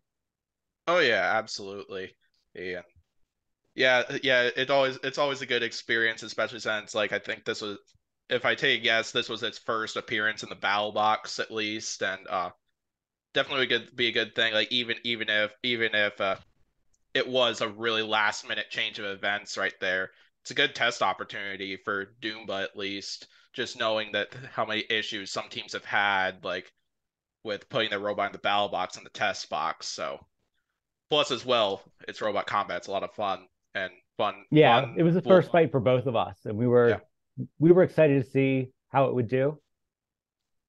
Yeah, including we found out from Double Tap's post fight report that that robot also wasn't at 100% exactly because the thing that makes Double Tap unique, they mentioned they didn't have those uh they didn't they didn't have the the special blades. I keep forgetting what the term is they use for them. Um so they end up coming in with just the regular bar and uh yeah. the, the day before they were in the test box doing their tests, and they spun their weapon up to 250, and they're like, "This is awesome." And then the uh, safety guy was like, "Oh, does it go higher?" And they were like, "Yeah, but we're not going to run it higher." And he was like, "We'll run it higher anyways." So they they spun it up to like 350 or so, and something let go. Oh. Now I can't tell if Bevan if you're just having audio issues or something. I don't know, but uh, it's it's kind of funny. It's kind of funny regardless. So uh, yeah. So how about uh Blaze? You want to talk about your thoughts on the fight then? Well, uh, I mean, I was confused on why you guys ran the hammer config, but now that I know that you guys didn't know that you were fighting double tap until like what you said, like 15 minutes before the fight. Five, five. Five? Oh, yeah, that makes a that makes a lot of sense and why you guys didn't choose to switch configs because you probably didn't have enough time to. No, we barely finished getting the uh, sponsor decals on backstage. Like the damn. woman's prepping us, like you have 60 seconds. 60 seconds, you have to go no matter what. And we're like, okay, well, you have like 30 seconds of putting on stickers left, so let's do it. So yeah, you didn't have time, which I mean, do you think you could have beaten double tap if you ran uh like a config designed for horizontal spinners? Or If we ran the uh, armored frame and we had the drive dialed in, then it's definitely a fair fight. Like there's a real Yeah. chance that we would be able to get around behind them, that we could tank a couple of those hits. Yeah. Yeah, before we started recording, Brice mentioned that they they used uh config like specifically planned for Rusty, but then as he mentioned already, five minutes before they were originally gonna fight Rusty, ended up getting told they were gonna fight double tap instead. And that's that's just crazy at least. A big twist, big twist, but uh it was it's still fun to still fun at least, so Yeah. and glad glad that you all had fun at least with it, so Oh, so much fun. Uh, the producers tried to give us double tap again like a week later, and we are like, uh, if, if you can't do anything else, we'll try again. But Gotcha. Uh, yeah. Okay, so anyway, uh, so we ended up seeing kind of this fight ended up ending in like one to two big hits. Double Tap mentioned they were concerned a little bit about the undercutter at least possibly slicing up up their wheels, and fortunately it still ended up going in Double Tap's favor because they managed to land a couple hits and that was it. What was kind of some of the damage done in that fight that kind of caused some of that stuff? so the first hit came in dead on lid level and just knocked all of the weld nuts free. So then our guts were spilling out. The first hit also almost unplugged one of our motors. Yeah, going through afterwards, we realized that we zip tied every single connection except for one. And it got loosened there. And then when we hit the kill saw slot, that wire just popped the rest of the way out. So we were down drive on one side. Yikes. Uh, yeah. final- it's- keep Their going. final hits came in and then just hit right in the uh, battery switches. We knew that they were exposed there on the outside, but again, this was a hammer frame, so we weren't expecting to get hit on the outside like that. But definitely move those inboard for the rest of our fights. Yeah, gotcha. That would definitely make sense as for especially why the fight was a little quick. What was that, Blaze? So that makes sense. Yeah. Uh, so basically, then, uh, kind of like, kind of like next question is basically, were there any, were there any improvements you made coming off of like the recap from this fight, at least for whatever upcoming fights you have next? And that was gonna kind of bring me to my part two question: Are we gonna see Doomba in the battle box once again this season? Yeah, Chris, do you want to hit the upgrades for us? Uh, yeah, sure. Can you guys hear me? Yep. Yep. Yep.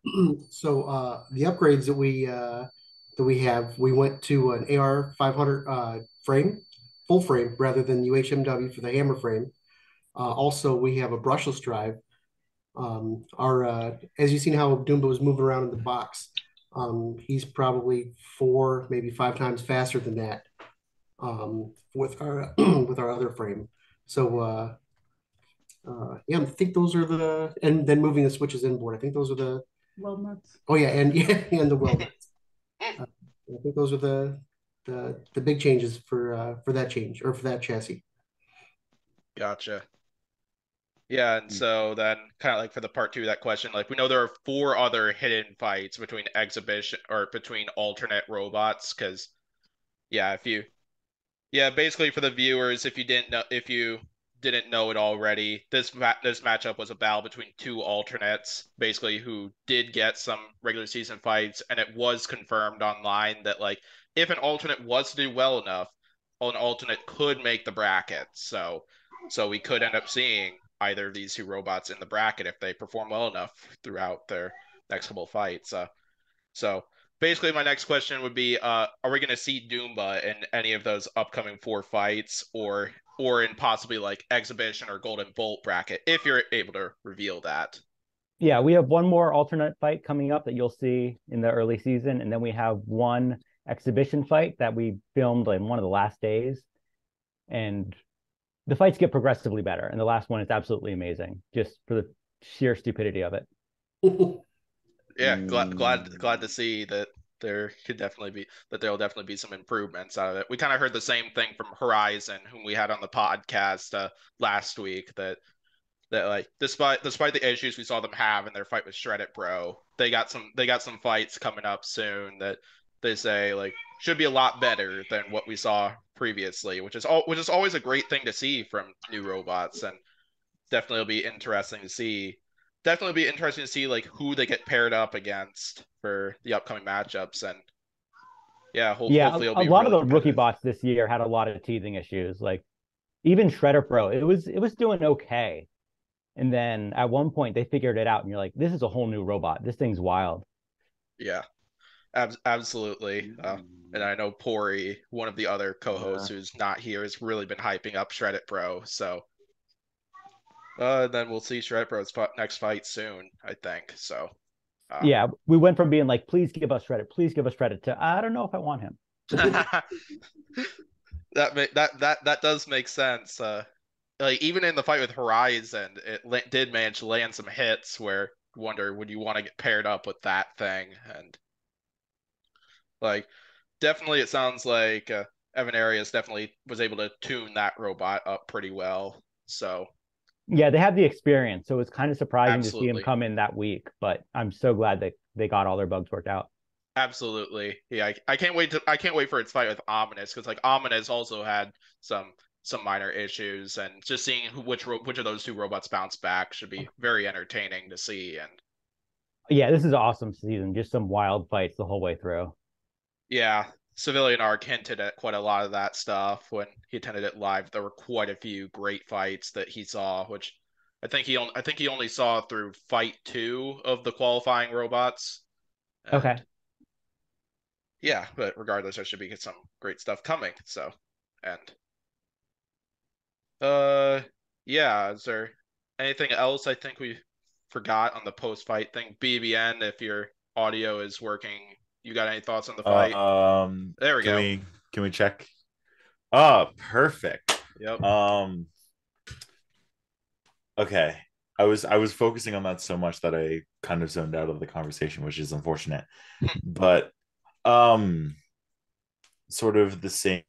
I mean, we already talked about like Simpson it's gonna be like a similar scenario with Horizon, where like Doomba, like I'm excited to see another fight with Doomba just because of the fact that um, there's going to be improvements that are going to be happening. Um, so this isn't a full conclusive look at Doomba, and I think I said the same thing with Horizon that this isn't a full conclusive look at what Horizon was uh, last week. Um, but I I'm I am excited. I enjoy that there's a giant chainsaw on top of it. I just think it's really cute. I I I love Doomba. Doomba is great. Oh yeah, absolutely. Like I yeah, I absolutely love that thing. Other others might not, but I think that's an adorable design and and like and like you said right before the match, it's fun and and all that stuff and uh it was funny in the post fight uh recap you posted and I always I always I always have fun with this whenever you fact check uh, Chris and Kenny mentioning that the chainsaw was not a prop like they said on the show and Yeah, I was about to mention that. Yeah. Fully working chainsaw. We have a custom bar so we can run carbide chain on it. It'll cut through steel very slowly, probably not AR steel. Uh, we've done tests on our YouTube if you want to see it.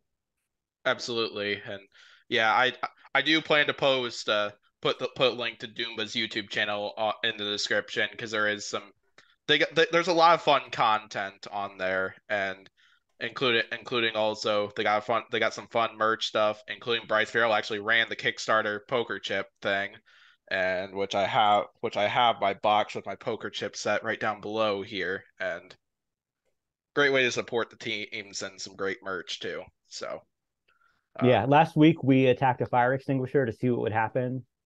There's plans in the work for an even more ridiculous video, so I'm I'm pumped there. Oh boy! I now I now I really can't wait to see this. We've- we've seen- we've seen some really Doomba we've seen some- existent and it's incredible. yeah, we've seen some really adorable videos like on the Doomba channel in the past. It sounds like something more interesting is coming as well. oh boy! Most definitely. And I think the last thing I'd say is we're going to be at Motorama uh, two weeks from now, February 18, 19. So we'll have Doomba there. We're going to have a whole bunch of Roombas fighting. Uh, come out, meet the team, check us out, see the robots. Absolutely, absolutely. I, w- I, I wish I could come to some of that stuff. Uh, but I can't. I can't even use the same reasoning I normally would, which is that I'm currently at college taking classes right now because I'm actually on a co-op this spring semester. So, uh, Yeah. So anyone But, near Harrisburg, Pennsylvania, come on out. Hey, maybe, maybe, eh, Por- maybe Pori can. I, I might decide to. Me or Pori could. Yeah, Po- Pori Pori lives right near Philadelphia, so so There you yeah, go. he's not a terrible distance away. And he he always had been talking talking about because uh, when we had Chuck on the podcast, uh, basically Pori ended Pori ended up getting a Gamma Raptor, and he was considering maybe sometime maybe bring it to like a competition, display it or something like that, and is very very incredible. And Yeah, it's a great event. Lots of BattleBots teams there. Uh, some bots came out of there, like Huge was originally a competitor there before getting scaled up and going to BattleBots. So Ooh, I, I actually did not know that, but that's incredible. Including, yeah, including we will have talked about it by this point in the video, but uh, yeah, I'm super glad with the amount of success Huge has been having so far this season, and yeah, it's it's one of those seasons where you look at it and it's like, is this Huge's year? Like it could be. All the planets are aligning. yes, so far it's Awesome. been going well for them, and It's been going really well for Huge. oh yeah, absolutely, Uh, Nah. well, anyway, uh, anything else really to talk about with Doomba and Double Tap from really anybody? Yes, I don't think it's it's not known what Doomba or Double Tap's next opponent is, but heard from Brice that they do have a couple more fights coming. And Double Tap, I think they hinted somewhere that they have quite a few, they have more fights coming as well, at least from what I've heard from Hori. Might have been mentioned on like Reddit or something, but Yeah, they get back out there and they finally get to double tap. So yeah, abs- Oh, they get to don't have. Wait, someone mentioned the fire extinguisher. Oh no, my natural weakness. I can't It- be here. it'd be Oh it'd, no! be, it'd be funny if there was another Doomba double tap fight, and that's where the fire extinguisher comes into play or something like that. Uh, That would be hilarious. oh, it literally Also- would be. I'm, I'm watching the the Doomba versus Extinguisher, like the fire extinguisher video right now, and I enjoyed that your spinner is a Pikachu. Oh, Yo, yeah, we we tried to run that at BattleBots, but like as we expected, the legal team, like their entire response was sorry, no. That was their entire response.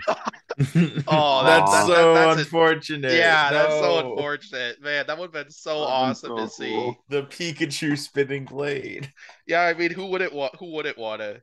What if you got sponsored by Pokemon and then Yeah. that, yeah, just get that would be Pokemon to allowed? sponsor you. Yeah, Exactly.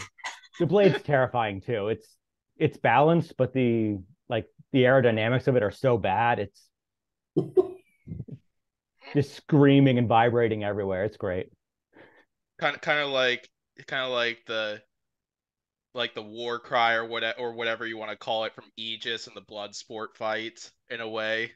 Hey, what we were seeing at the end of that there. I don't know what to call that, but um, Yeah, yeah. Where it's not quite a hum and it's something more ominous. Mhm. Ooh. Ominous, Like Yeah. that robot. like the robot ominous. Omin- It's gonna be one of those words I have to learn not to use, like huge. Huge, Like no, no, no, no. I'm not gonna go to that. that route. like, like the I'm not like gonna- the huge robot. Yeah. no more like Oh a huge gosh. spinner. That's crazy. Huge, like the big, like the bot with two big wheels and a vertical spinner down the middle. No, that no Blaze, that's Star Child. No, I said it down the middle. Yeah, I know. Yeah, and Star Child is at the end. Ah, gotcha. uh, that's all. That's the point though. If I'm just talking and I want to say the word huge and I don't mean the robot huge, I just say massive. I don't even say the word anymore. That's hilarious. Because every time someone's like, oh, huge. Like the robot? The robot? Yo. Oh my gosh. Oh, now we can't even say Horizon anymore. Oh my goodness, BattleBots is taking over. Oh no, Mhm. Oh no. They're taking over all the names. not the Oh, names. man. Not the names. Oh. What are we ever gonna do? I don't know. What are we gonna what are we gonna do? Ooh. I don't know. What are we gonna do? Uh well Move any, on to the next fight. No, I'm joking. any other thoughts Oh, on I'm Doomba kidding. Double Tap then anyway, since I don't think we know since it's not known what Doomba or Double Tap's next fight is, we can't really talk about that. So but I'm Yeah. sure Doomba will win. It's the next I'm sure fight. Double Tap will lose. Oh, we'll find we'll find out because we know there are a couple mo- there are a couple more alternates still left in the field because I know yeah because I know there yeah because I know Terror Top still has yet to fight. Slammo still has yet to fight. And Doom. yeah there's Doom as well. Uh, I know we'll be seeing Dragon King at some point. Uh, Greg Munson hinted on the podcast that Samurai apparently has a fight coming but I think that's an exhibition based on what he hinted at. So it, regardless, it should be really exciting to get to see like all those robots in action and get to see what they all can can do. And Yeah, I will say about Terratops, it is the most best put together rookie bot I've ever seen. Like they clearly did their homework, and where Double Tap went through the Reddit threads and just took all the bad advice, like, oh, you should do this. Oh, you should put like jet thrusters on it, and they were like, yeah, let's do all that. Her, uh, That's a great idea. That's a Terratops went idea, through through and they just looked at all like the internal pictures and were like, okay, I know why they're doing that. That makes sense. Why are they doing that? Maybe we should try that. So great work from that team. Oh yeah, absolutely. Gr- great way to learn learn more about what what could make the robot better, and yeah, ho- hopefully we'll get to see Terratops fight fight soon. First fight soon. I don't know when the I don't know when the next episode is that will feature one of the one of those four other fights because I don't have I don't have my list right in front of me, but yeah, I know Pori and I have been Pori and I made a prediction that we think Slammo and Terratops is gonna happen, and uh, maybe we'll be right on that. We don't know, so Or maybe you'll be wrong. yeah, we could we could be wrong about that knows? because there are several different combinations, and s- we I mean, there there is a limited amount of combinations technically, yeah, but but- like, But it's also BattleBots, and you never know what they're gonna do. oh yeah exactly. you Exactly. never know. Which which you got the perfect example. The five minutes before the double Yeah. tap fight, you found out you're gonna fight double tap, which is yeah. And then a few days later, they're like, "Yeah, how about double tap again?" And we're like, Mm. Dang. Now I now I kind of want to see I kind of want to see a double tap and slammo fight. I think that would be really interesting of a fight a fight to see and a good test of both robots. I I think so. That's that's one matchup I'm gonna fingers crossed now that we get. But "Yeah, we'd love to rematch them again next year too. Just Mm. upgrade both the bots, come back, and see what happens." Will Doomba be at dis- the Destructathon event? We're considering going out for one or two of them, but not as a regular competitor. Gotcha. Yeah, that make that makes sense. So. Yeah, it'd be a great great way to show off the uh, whatever upgrades you plan to make to Doomba following this season. So, uh, and all that fun stuff. So, uh, yeah. Is there anything? Is there anything we missed from this fight, or anything from the recap that we missed?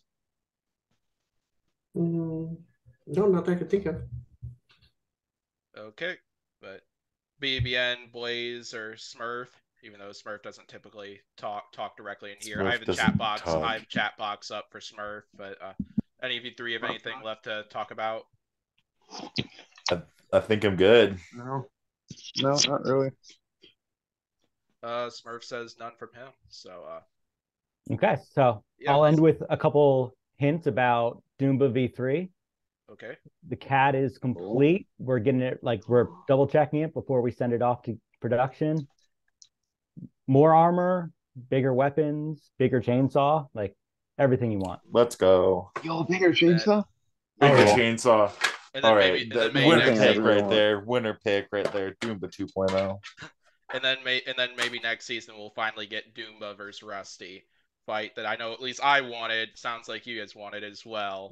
Oh, I'm top sure- of the list. I'm sure many other fans probably wanted that one too, and yeah, so uh, Right.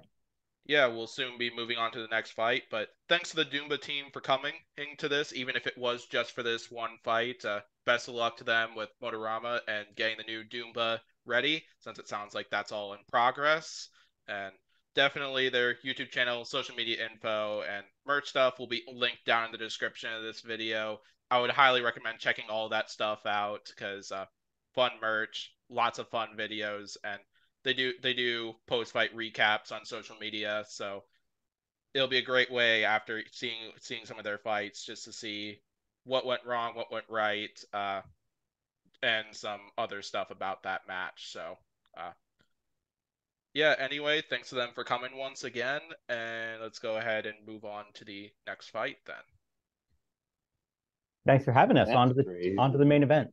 Absolutely. The main event. Okay, Riptide Oh, and Mad Cat, Oh my Riptide and Mad gosh. Catter, which is the main event for this week. Battle between two robots who had a very effective first victory, basically. Both of them had a great start to the season. Riptide with that quick victory over Glitch, and then Mad Catter with that dom- pretty dominant victory over Whiplash. And these two are going to clash it out. And this was a pr- pretty good pairing, at least, between be- since uh, Mad Catter, the team knows the design of Riptide so well for reasons that I'm betting at least BBBN is going to bring up. Up so, uh, I, yeah, and I what would bring it I. I don't want to touch. I don't want to touch this controversy with a three foot, like a twenty foot pole. Okay? Somebody will, I But if I guarantee. I was- you. wouldn't want to touch it with the 39 and But a half foot. Regardless, though, I want to say one thing before I leave the floor to you three right there. For a fight that was only like 30 to 45 seconds, uh, I'm surprised about how back and forth this fight was, at least. And yeah, we got a pretty back and forth showing, and now Florida U three. I would not touch this this uh this controversy with a 39 and a half foot pole. But personally, I it was it was a good fight. I, uh, yes, I I will admit that Riptide had a good fight. I know, very surprising. This is the only time I'll ever admit that, and it's only because Mad Catter was involved. And by the way, I did not like I, I'm sad that Riptide won this fight. Alright, anyways. Civ or Yes. BBBN. Uh, Siver, you're gonna be the one that bites the bullet and does the. the bullet? Oh, you mean that Riptide's a fucking knockoff? Yeah, go for it. Pop off. you can if you want to. I don't care. Just don't go. Just don't Uh, go too far. Back in the olden days of NHRL, uh, Calvin Eba built a robot that was a four-wheel vert. Holy shit, what a shocker! Um, it was an egg beater four-wheel vert, which is not much of a shocker because you know egg beaters aren't that big of a thing. Well, they are, but you get my point. But its name was Lynx, and uh, yeah, it was like it's in time, and it linked all over the battle box, and then um, Ethan Kurtz was like, "Holy shit, I could use that design," and he he brought that design and built it into a 250 pound concept, and it, it, it was supposed to got have forks and shit, lifting forks, but we got debated, and they were like, "Haha, no, lol, they don't actually exist." Funny. Um, uh, Riptide, um, kind of, but yeah, Calvin Eba threw shade at Riptide, which is partly true. Um, yeah, um, Mad Catter took the L, uh, which is unfortunate, but you know, it is what it is. All right, BBBN, what do you got? say this. I will say this. I mean, Calvin Eba's design is great. Um, I mean, it, it beat Mad Catter. Riptide literally just took Mad Catter to town, and I don't know. Oh. This was this was a good this was a good fight for for. Riptide, which little pains me to say, but I'll, I'll say this. I'll- say this. No matter what your opinion really is on Riptide, you can't really say it's a bad bot by any means. It's no, you cannot. It's, it's a real. It's a good bot. Ethan Kurt's driving is pretty good. Uh, Very aggressive, yes. very aggressive, and you know, it, it it's some it part of I'll, I'll say this no matter what my opinion is on like the whole Lynxgate thing is, part of it has to come in with the driver. Like, i- i- if you're if you're having this design, and you're doing good, it's not because it's not purely because you're based of the successful Beetle weight if you're based off of this, if it's partly because based on that's you're based off of a successful beetle weight, then sure, yeah, that's the thing. But you can't say that it has nothing to really do with Ethan's driving because Ethan is Ethan's been a really impressive driver for the past two seasons he's competed in, and yeah, I I, I do side with Calvin in the Lynxgate situation, but I don't think that, that Riptide's success doesn't have anything to do with Ethan's driving, but I do think, think part of the reason is it being based off of a beetle weight. But yeah, that's that's my take. Yeah. Yeah, so as for some of my takes on this, like the actual fight itself, uh, like Matt Cow got some good moments in, but holy crap, Riptide is definitely Riptide's definitely on path for a deep run, another deep run this year, because that was another great showing from Riptide and against another great robot too. And Like Rip Riptide, it could win the whole thing if it continues this path of destruction. Even if there are some people here that might have other robots they'd rather win the title. Like definitely Riptide's in good shape for something like this. And that was a that was a great win against Mad Catter and hopefully we'll see Mad Catter bounce back from this one in their next fight with Big Dill. But uh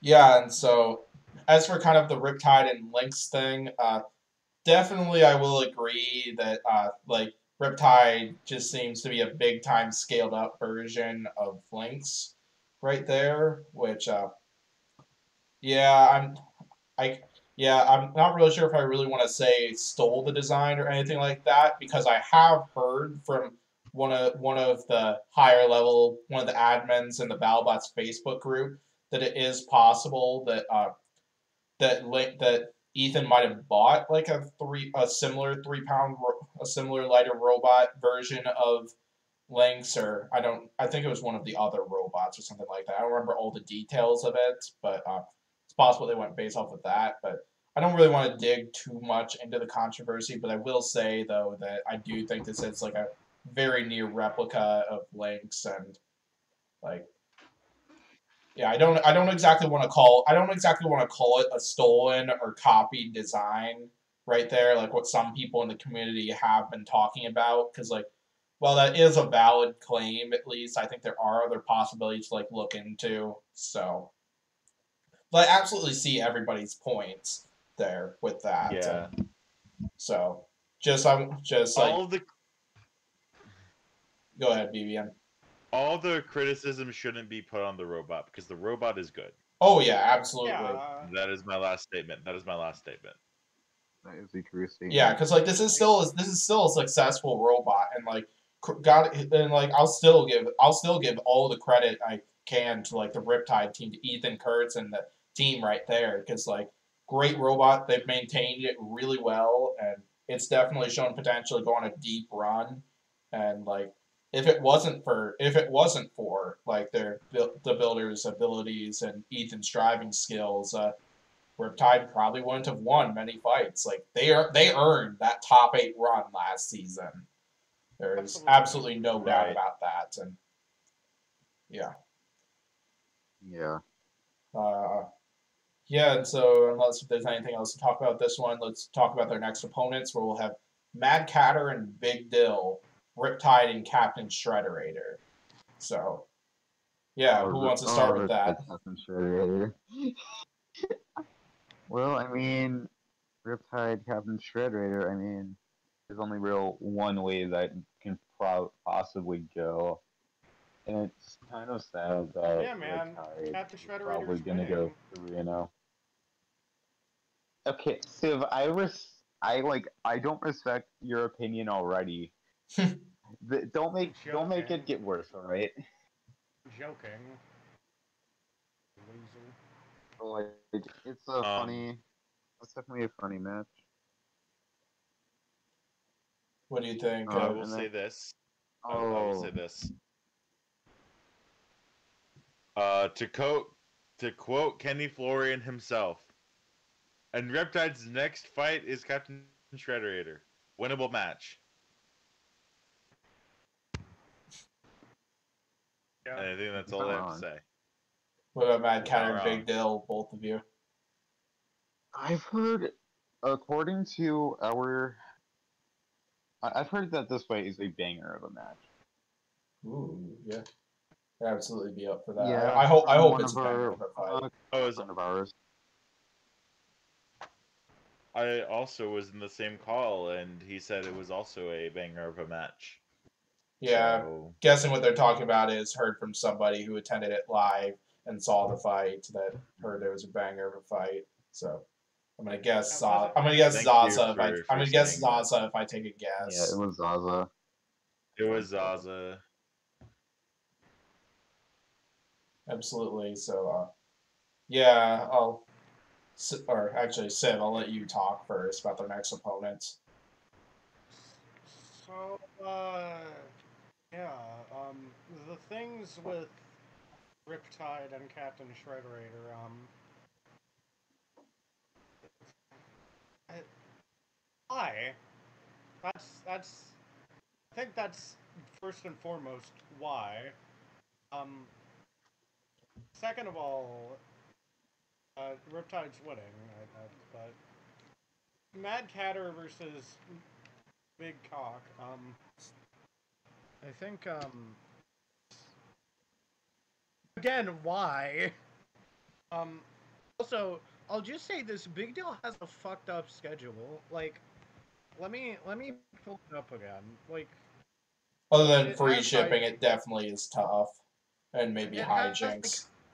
it, it has like hijinks, which means, which you know, I mean, kind of understandable. You gotta, you gotta beat someone that's higher than you to be like high.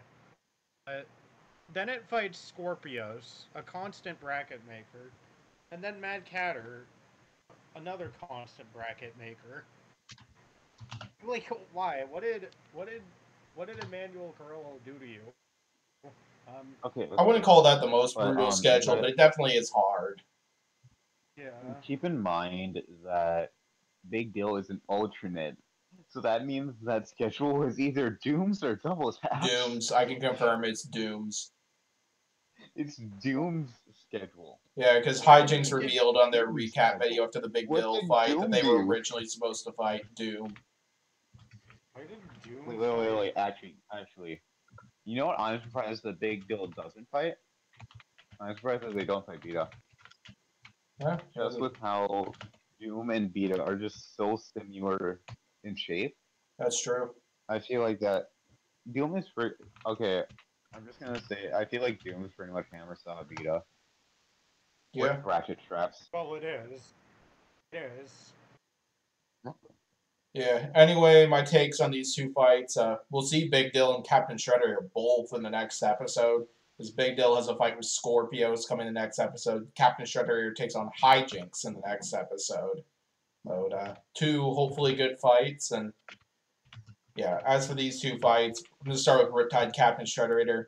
I would love to see Captain Shredder pull this one off. Just to see Captain Shredder bounce back from that disappointing loss to Quantum and whatever happens in the hijinks fight, whether that's win or lose. I would absolutely love to see them pull off this win against Riptide, but I think odds are definitely not in their favor of winning that fight. I think Riptide, I think, is gonna, most likely going to clap Captain Shredderator in that fight, and maybe we'll see a deshelling of Captain Shredderator, which we haven't seen as for that robot. As for Mad Catter Big Dill, definitely I was thinking that would be a one-side fight for Mad Catter, but hearing that hearing from Zaza that the fight's apparently going to be a a banger of a fight and a bit more competitive. Uh, glad to see, glad to hear that at least that Big Dill is going to put up a massive fight in this one. I'm still going to go Mad Catter for this one, but I think this should be great. So, uh, yeah. Anything else on this one, or should we get to the last part of this of the main part of this podcast? To go over the top eight outrageous moments. Okay, so at the end, BattleBots did another extra special featuring lots of the builders talking about some moments, at least where they outrageous moments this time, and yeah, we saw yeah we saw Nasty's yeah we saw Nasty's KOs and previous time. This time it's outrageous moments. So yeah, I'll review those a little bit, and then we can share some basic opinions if we have any, because I feel there's a lot less to Mm. talk about with this one. Yeah, they started out with number eight, which was Deep Six in the test box, mostly referring to the first episode of the 2019 season where we saw video footage of Deep Six absolutely obliterating the test box in their first spin up. Yeah, and the number seven being Broken Dreams is how they titled it, referring to Witch Doctor and Tombstone. I probably should have added 2015 to that, where they're referring to how Witch Doctor was winning that fight pretty well in that one, but then on the hit that broke Tombstone's blade in half, Witch Doctor flipped themselves over. Or, well, not exactly flipped themselves over, it's just they were flipped in that exchange and couldn't self right. Battle of the Behemoths, Huge and Mammoth, that's pretty straightforward. Same thing with Kraken Rotator. Tantrum Tombstone from 2018, which was my favorite moment of uh, the 2018 season when that fist got stuck in the glass. Talked about the Last Chance Rumble, the bike rack of Hydra, and then the rake of of Hypershock in the Warrior Clan fight. So yeah, it was nice to hear lots of the builders' insight, including I mentioned this to these mentioned this to these guys earlier, but before we were recording. But I find I found it a little funny that uh, Jake was driving the drone, at least in the Warrior Clan hy- Hypershock fight, and and getting to hear his getting to hear his takes on that whole thing was uh, definitely fun to listen to, and yeah, I think it's great getting to listen, getting to hear from the builders at least on some of their takes on this stuff. So I think you guys have heard my stuff. Uh, you three got anything you want to say about this? Uh, Hypershock rage moment number one, based. Personally, I think that uh that uh Hydra Hypershock round one should have been on here just because of how silly the Uda was with Hypershock. I believe Hypershock Uda itself like driving, just Yep. using Hydra as a ramp. Which that was actually going to bring up my neck, bring up the question I was going to talk about. Where if they did a top ten moments instead, what are the two you would add if you knew of any? That'd be like one right there. So I don't even know what the other one I would add. the other one I would add, I'll tell you this. Uh, one of the ones I thought of that I would add would be like uh, they refer they did this at the beginning of the last episode. Maybe all the times the mini bots have gotten shredded. Oh yeah, mini bots. Like especially like I pro- I probably say the two big I got one. I'd probably say one. the couple of big ones were either Witch Doctor blowing up its own mini bot in 2019 in that Rumble, maybe when Nightmare connected with Shaman at that Rumble, possibly the fire that Claw Vipe on Claw Viper's mini bot after the Bloodsport fight, or uh, or Gassy Cat after the Sawblaze fight. I'd probably lean towards You- Gassy no, Cat. I'd probably I'd probably lean towards the Gassy Cat one just because how massive that was. But yeah, you got the But idea. you know what? You know what? I can think of two more. what you got? Duck versus Cobalt, just with how with how much hits Cobalt got on Duck, and then it got stuck, And then That's a Cobalt possibility. got high center. and then this, and then uh, Spitfire versus the Screws. That too. That's another good one. I also thought about um, um, Poison Arrow versus Son of Whyachi. Just sort of how it was one shot and over, and one of the biggest hits of like early battle bots. Like, Oh, yeah. be- I mean, that's also nastiest KOs, but I feel like there's a part that's like also applicable. Definitely. Uh, Civilian Arc, you got anything you want to talk about that? Whether it's at uh, whether it's ranking any of those order any of those things or outright other moments you'd add to it. Uh, no. Fair enough. But, yeah, anything else from anybody on the outrageous moments segment, or should we close out this part of the podcast?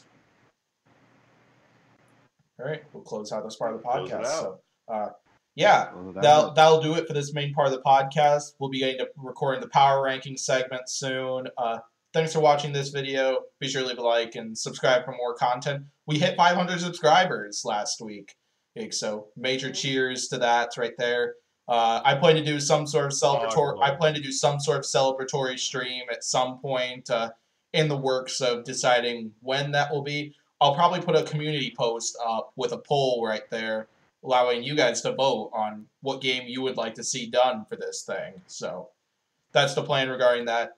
Uh, everybody's channels who are involved with this one, including the Doomba team, will be linked down below in the description of this thing. Definitely check them out because like lots of them post some great content, even if they even if some of them haven't posted in a while. Uh, I know BBN recently released a Power Rankings video.